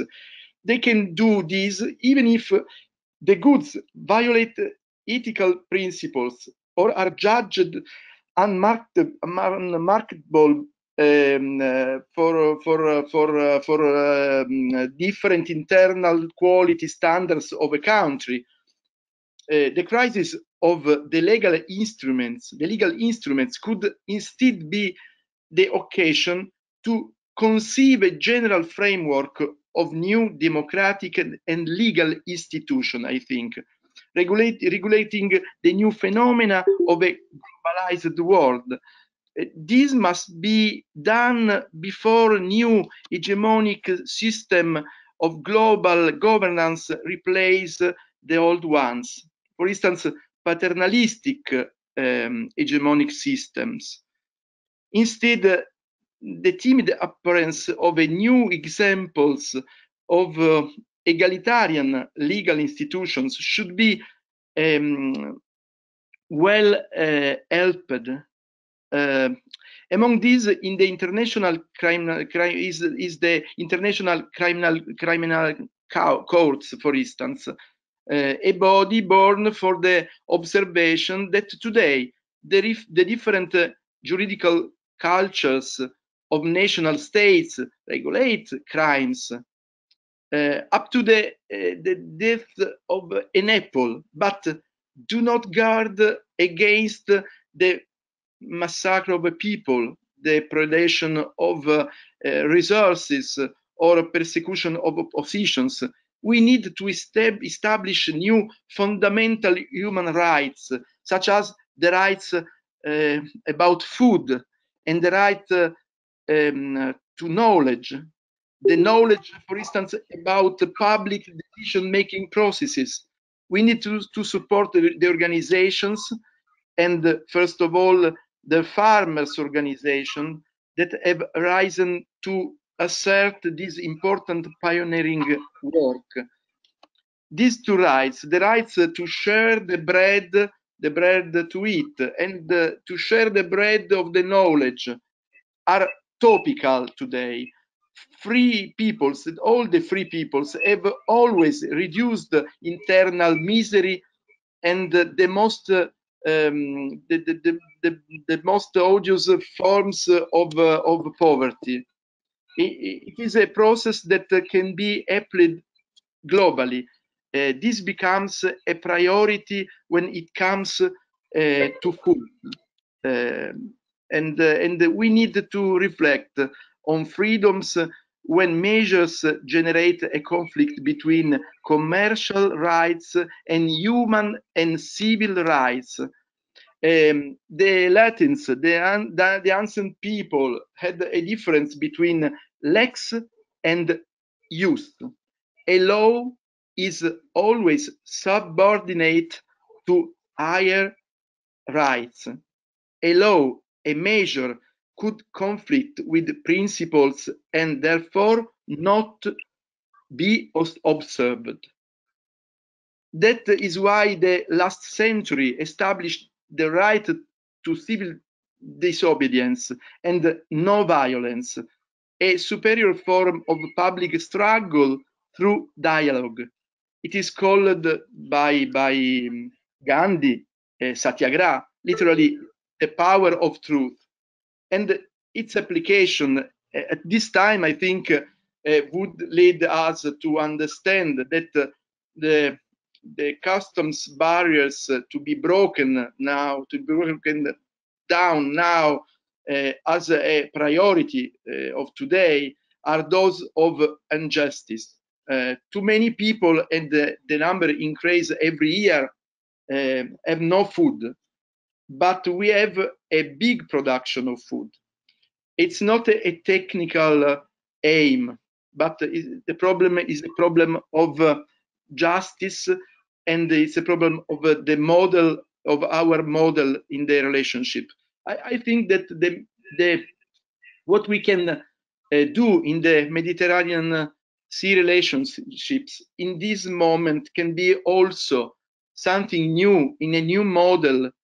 Uh, and I think the multilateralism uh, can be made when you have uh, some treaties that are bilateral and uh, and um, between uh, states that are, that are, for instance, rich, and they want to exclude the power countries and the power people uh, in the right of food. Um, this this is this make everyone power. Uh, I, I, think now we can establish a new model, and the model uh, of the Mediterranean uh, see that an historical one can be can be used to to to make uh, something new that is uh, in touch with the modernity but uh, but the relationships that that are not um, unicentralistic but multicentralistic can be something that are in the forms itself of this uh, sea and also in the his history. For agriculture for food for the farmers i think this is vital and very very important that we begin now. Thank you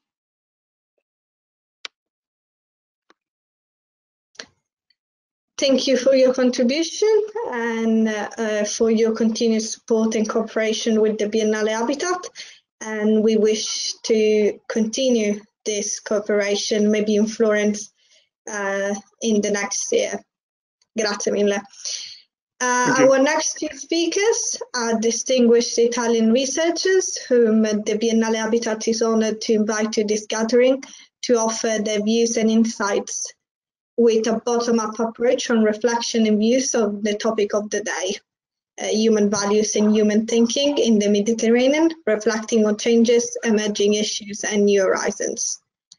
Our first speaker is Ornella Urpis of the University of Trieste, Department of Political and Social Sciences. She is an associate professor in general sociology she works in the research programs of the Department of Political and Social Sciences. She, also, she has also collaborated with the healthcare institutions and with the Burlo Garofalo Hospital in Trieste on various training programs. Author of numerous international essays on the issues of migration, women's health, identity, and in transborder programs in the Mediterranean. Many of us have followed your work, your contribution to civil society and research. Can you please elaborate on the issues that you have been working on and bridge them to the topic of today? Thank you.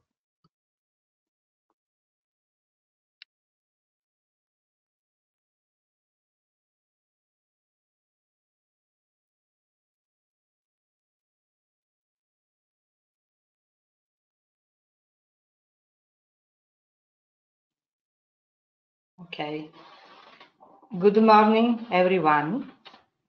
Um, I would like to mm, thank the organizer um, for providing the opportunity to discuss the important topic on the relationship between culture, identity, and human rights in Mediterranean, Mediterranean area. I am a sociologist. Uh, I have been uh, dealing with the migration issue for many years.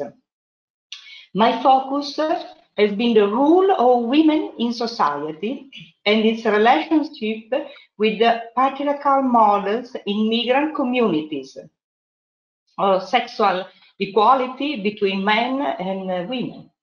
I have studied extensively the negative consequences of such patriarchal models.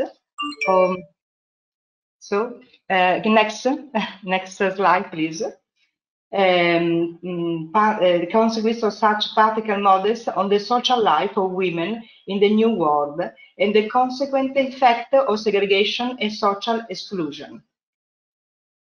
In the late 1990s, I was responsible for a program on female genital mutilation and human rights in migrant communities, funded by the Ministry of the Equal Opportunities, Italian uh, Ministry.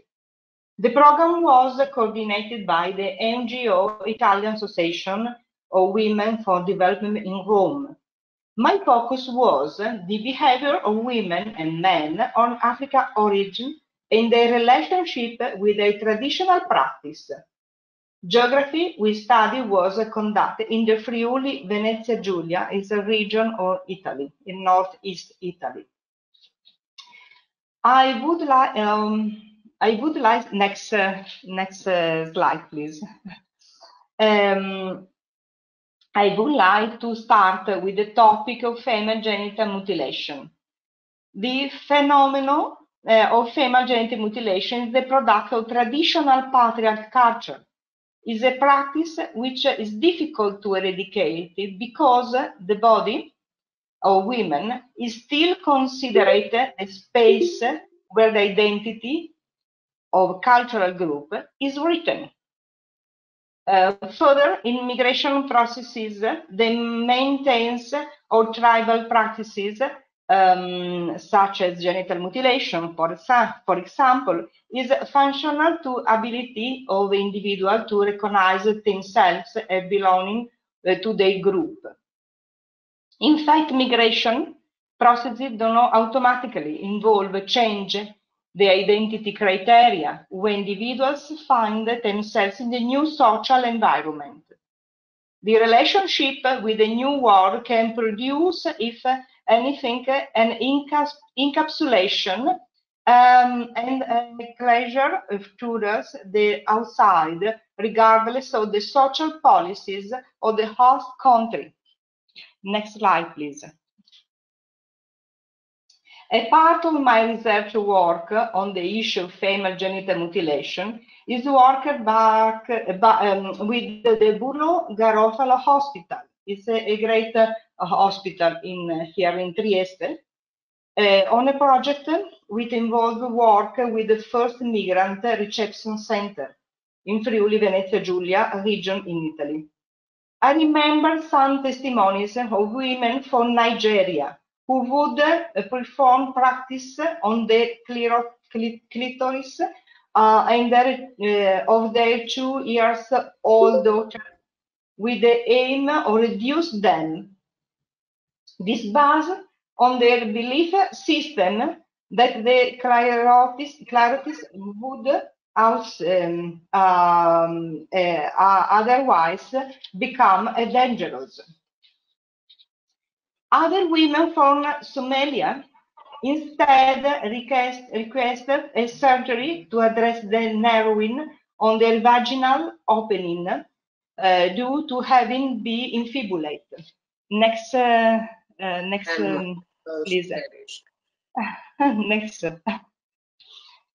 Um, however, uh, this um, caused fear amongst these uh, women uh, that if the matter would have become known in the public domain.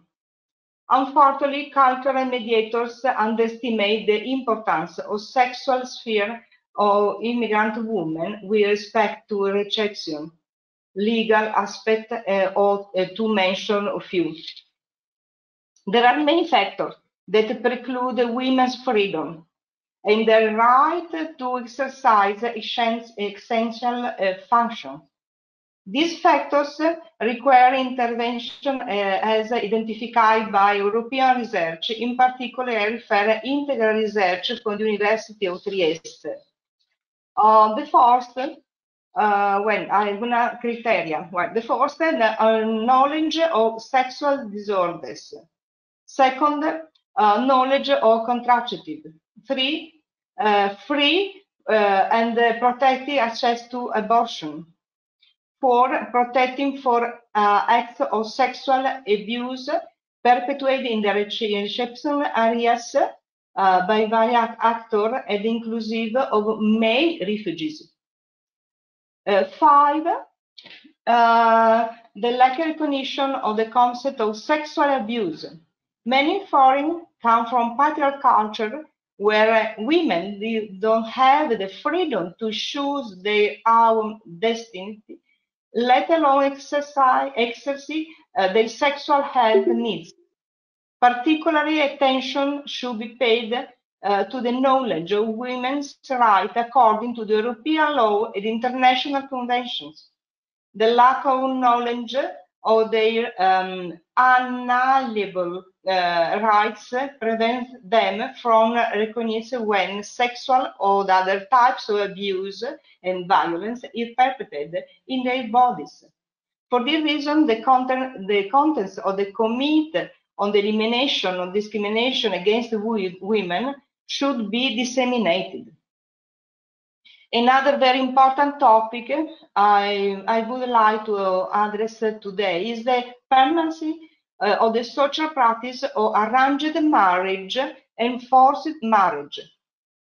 Uh, the research shows uh, the absence of uh, exogamous in marriage in the community, in the cultural community, in many cultural community here in uh, Friuli Venezia Giulia.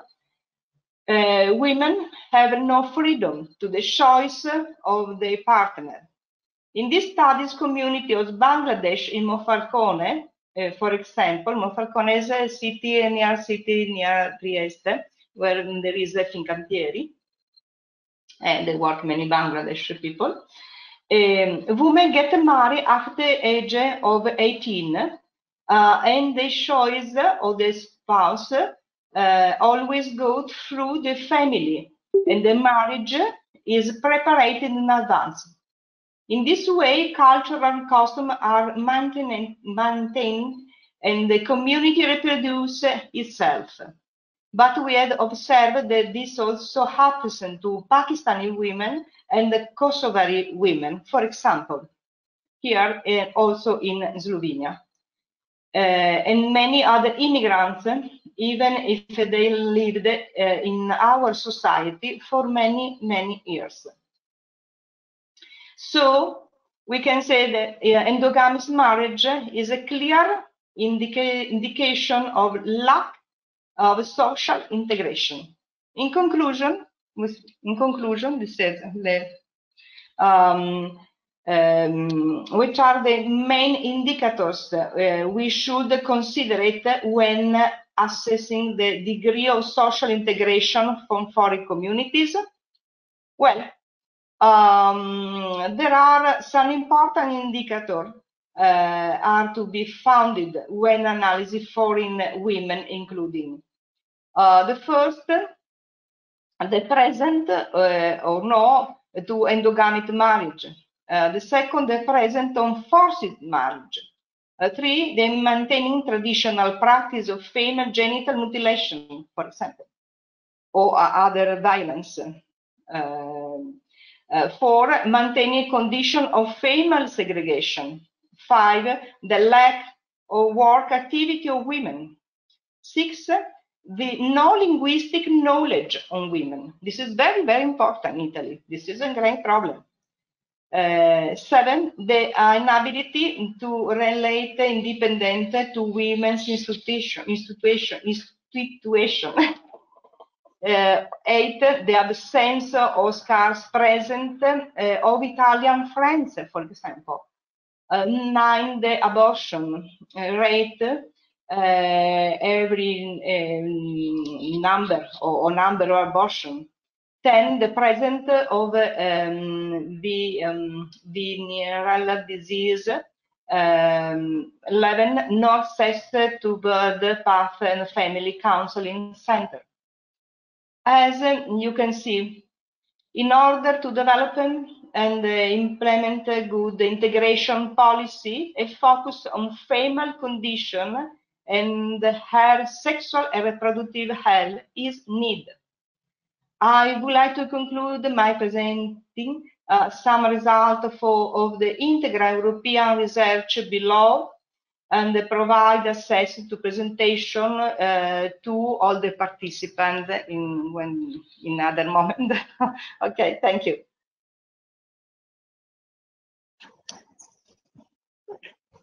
Thank you, Professor Urpis. Uh, again, Habitat World looks forward to continue to work with you on various topics of mutual interest. The fact that your department in Trieste has invested in this area is extremely important for the Mediterranean, and we will surely follow up with new exciting initiatives together. Our next researcher is Marco Emanuele, who teaches democracy and totalitarianism at the Link Campus University of Rome. He's Edgar Morin's intellectual student and he, con he conducts research on the complexity of the human condition and on complex thinking, also with a focus on international relations, on the evolution of democratic processes and uh, and is responsible for the geopolitical information website Linee Strategiche. Prof. Emanuele, thank you for your for being in this webinar. You are a thinker and a reflective analyst of the complex world with a daily blog on these issues. What are your reflections and studies on the topic of today? Thank you for your participation. Thank you. Uh, it's really an honor for me uh, to to speak uh, in this uh, uh, very important and high-level panel. But uh, today my topic is Med Dialogues, Universities and New Technologies. Um, I am a political philosopher and as our chairman said, I teach democracy and totalitarianism at Link Campus University. But in speaking of dialogue, I refer um, to a process that uh, carries within itself a double dimension. And I think so, uh, referring to the great lesson of uh, Raymond Panikkar. Then we have dialogue and we have two dimensions. The uh, dialectic one, which concerns the mediation of interests and power relations between individuals and structures, including states. And the second dimension of dialogue is the dialogical one, which concerns instead the depth of historical processes and the possibility capacity to look deep into what happens. Uh, my opinion is that the enlarged Mediterranean area is a laboratory in which we can measure in qualitative terms the complexity and the complexities of dialogue.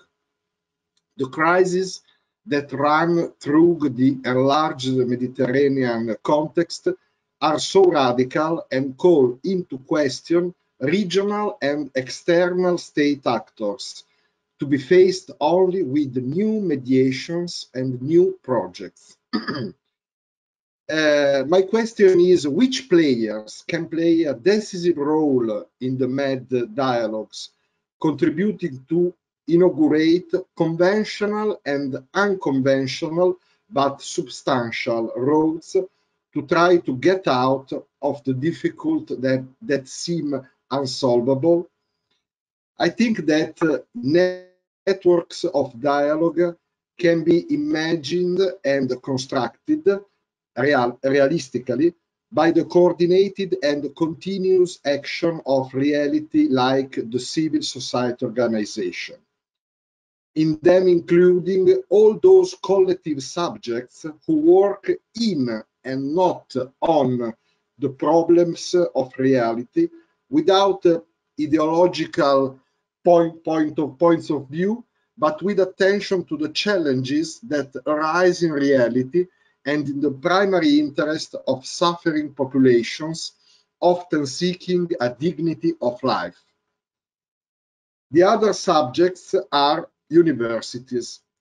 And university is a word that recalls the universality of knowledge in its indivisibility. And the university has the fundamental role of looking behind the sacred rooms of culture to give life to thought in reality. Well, in Italy, universities are required to invest in teaching, in research, and also in the so-called third mission. Link Campus, in particular, considers the third mission uh, the attention and relations with the external world, the true mission of the university that includes the others. Our external world, for us who live in the southern Europe, is naturally Mediterranean, our natural home. But I think that the time has come for internationalization processes to become real complex dialogue paths and help through education to develop contaminating and fertilizing approaches between cultures. This is not uh, an easy operation, but it is certainly necessary. Then universities must be considered strategic sub subjects in the Mediterranean area. While universities have not have geopolitical interests, they have the responsibility, as the general title, title of this initiative reminds us, to integrate by cooperating and to prepare learners for democratic citizenship by educating and to innovate and stimulate creativity by training. With the new technologies, universities can transform their potential for dialogue into real possibilities. Too often, in fact, we theoretically focus on the opportunities or on the risks generated by new technologies. Rarely, instead, we underline what technologies represent in terms of integration or positive experiences of community creation, peace building, exchange, and common growth, in particular in difficult or very difficult contexts. We must understand that our role is that of creators of the future, and that only through systemic networks in dialogue it is possible to try to get out of the difficulties of the present. The risk of radicalization is also in closed cultural attitudes that do not intend to open up to the knowledge of the other, that I consider the part of us that I do not yet know and the other's experiences. When I speak of systemic networks, I refer to the need to integrate five areas. The values of the principles, including uh, religious ones, the cultural one of the different differences that make up the med mosaic, the political institution ones, the economic ones, and the legal of the law and of the rules ones. Choosing the, choosing the logic of integration means, dear friends, rejecting through experiences the logic of a neo-colonialism that has characterized and still characterizes a certain Western attitude towards the countries of the Southern Hemisphere. In conclusion, the challenge is the challenge in front of us is on the one hand to work in the universities on critical thinking for dialogues and Uh, for dialogues of integration innovating through the new, the new technologies and sharing these innovations. On the other hand, the challenge is to rethink from reality the spaces, times, and contents of a realistic Euro-Mediterranean partnership. to achieve this, we must be prepared to engage dialogue with a truly open mind. My conclusion is a necessary, a necessary return to the future. In the 13th century, Raymond Lull, a Spanish mystic, philosopher, genius of interculturality, at the time of the Crusades, tried to make a peaceful contribution to the encounter between religions. He learned Arabic and he made every effort to persuade Rome to found academic chairs in Coptic, Arabic, and Greek in the emerging universities of the Christian world. He is certainly, I think, a very important example for all of us. Thanks for your attention.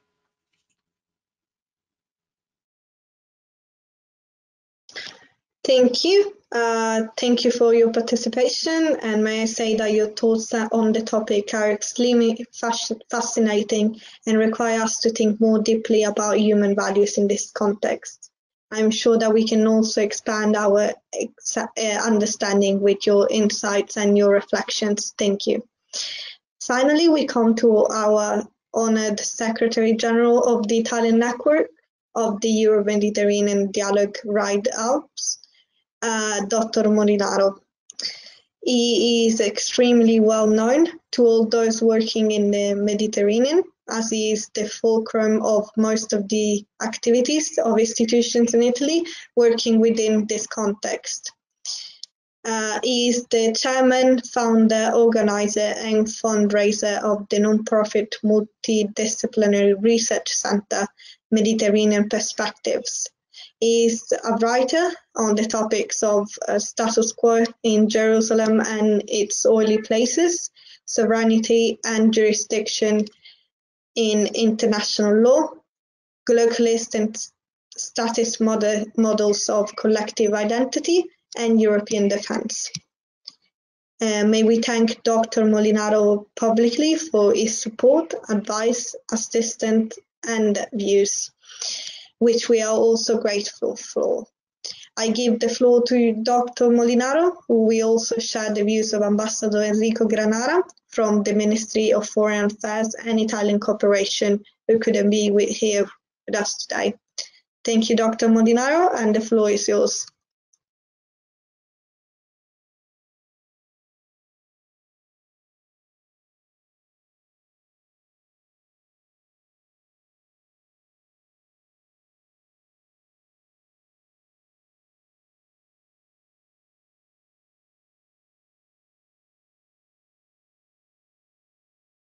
Uh, I'm sorry, we can't hear you.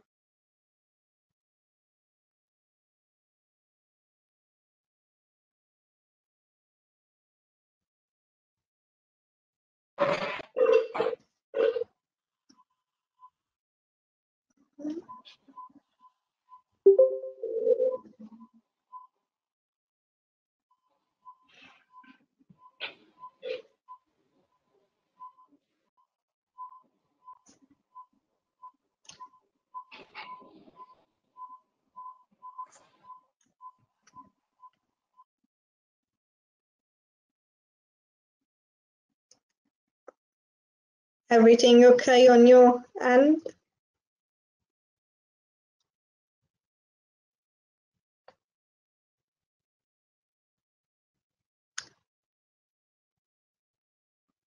Yeah, we still can't hear you.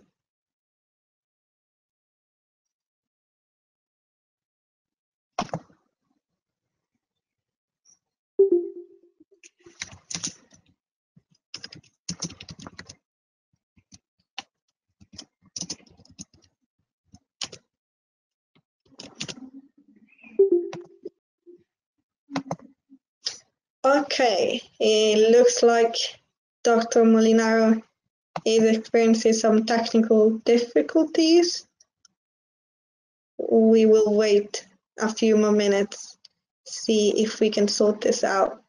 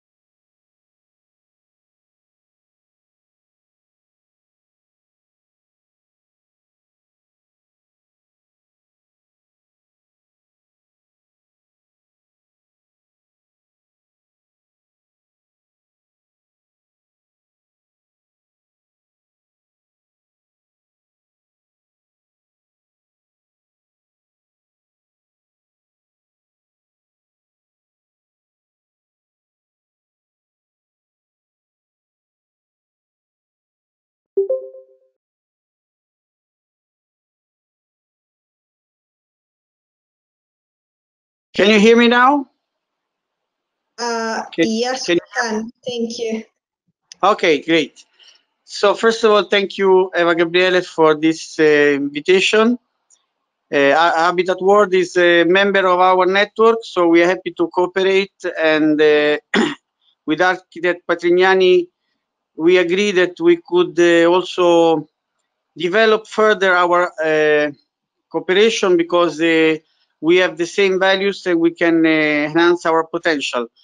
Now, if you if you want, I can start to read the uh, the message from Ambassador Granara, who is the coordinator for Euromed of the Foreign Ministry since 2013. So he's the most expert in any multilateral uh, Euromed uh, format. And then I will uh, give my speech. So I, I read it. I read this text. Okay.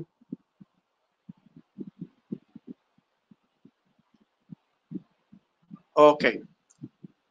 My first association with Habitat World dates back to 2018 when I learned about its prize awarded to an innovative urban recovery project in Egypt and to an equally innovative marine environmental project in the island of Crete.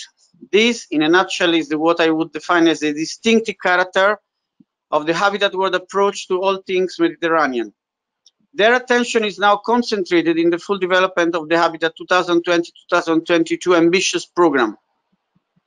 It is therefore with the utmost interest that we are now following this new initiative enthusiastically, promoted by Annika Patregnani and her Habitat partners through throughout the Mediterranean basin. We have already noticed their increased capacity in getting new culture partners involved in all those areas connecting the cultural heritage and environment, with a special focus on sustainable urban development solutions. Habitat World's concern with all these cross-cutting issues makes it a valuable partner for all Euromed institutions.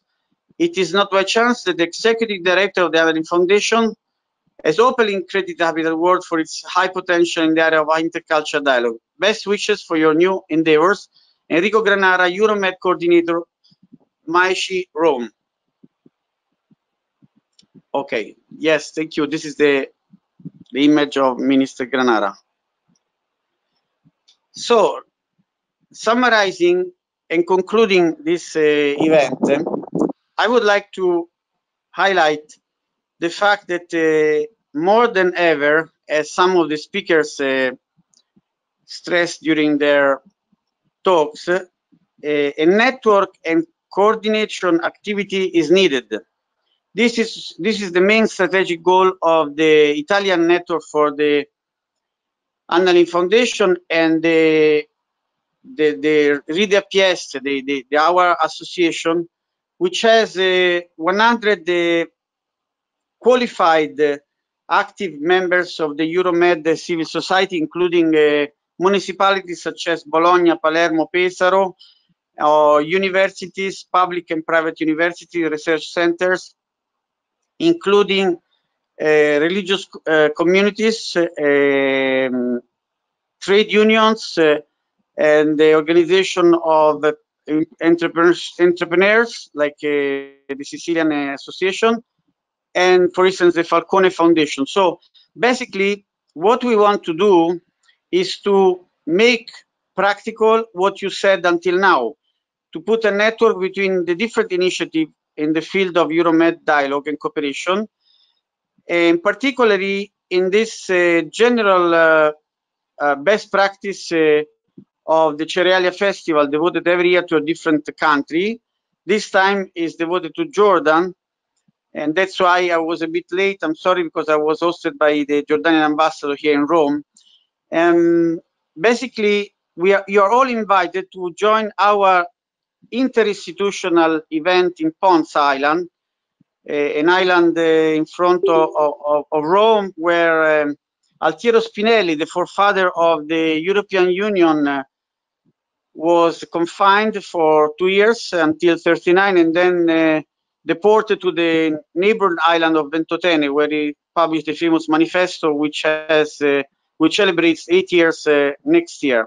So basically, in this archipelago, so important for the beginning of the European idea, we want to extend, following also the, the ideas uh, emerging from this debate, uh, the cooperation uh, idea and strategy to the southern shore of the Mediterranean. That's why uh, we uh, got the logo from the Union for the Mediterranean of the 25th anniversary of Barcelona. And all the main stakeholders uh, will attend, including uh, Nasser Kamel, the Secretary General of the UFM, uh, Dr. Nabil Al Sharif, representing the Anna Lindh Foundation, Professor Riccaboni, the president of the Prima Foundation, including 19 countries uh, working on uh, sustainability, in particular food security, um, circular economy, and the fight against uh, climate change. So we chose this island because uh, we would like to launch a new manifesto, a manifesto on sustainability in view of the celebration of the 25th anniversary of Barcelona planned for uh, November 26 in the same uh, city. And because uh, we we want to give a message that we believe uh, many issues we you you raised today, especially the the issue related to sustainability, could be the main trade union between all the parties, not only the north and the south, but also the parts of the southern shore of the Mediterranean that are in conflict. Reading the text of the Barcelona Declaration, you can see that uh, the the basis, the preamble, is the Israeli-Palestinian uh, peace negotiations uh, at that time started in Madrid. And this is why it's important to connect the two main organizations that include those two countries, which are the, the UFM and the um, our uh, Anna Lindh Foundation. This is why on May 15, 2019, we organized the first interinstitutional meeting between the two leaders, Nabil Al Sharif and uh, uh, Nasser Kamel in Palermo on the occasion of the World Food World, Organiz World Conference for Mediterranean Diet. The second meeting was December 6th at the, at the Foreign Ministry of Italy, where we extended the invitation to UN organizations such as, such as UNAOC, the High Representative Moratinos, and we want to extend the invitation to our Ponza Prima Med event scheduled for September 14, also to UNESCO, possibly the, the, the Director General Azoulay, because we believe many the issues we discuss, both on terms of the Uh, water and the environment and terms of education, because we want to fight against the, the labor mismatch, the, the problem, the main problem probably in the Mediterranean of the students who have a high education, qualified education, but the, the trend market is going to a different direction. So we want to build in the island for the first time a Euromed laboratory for sustainability of innovation and research open to all the talented uh, young uh, men and women scholars uh, in the area, in the region, and again, we hope to, to answer to some of your requests and appeals you, you raised during this very significant conference.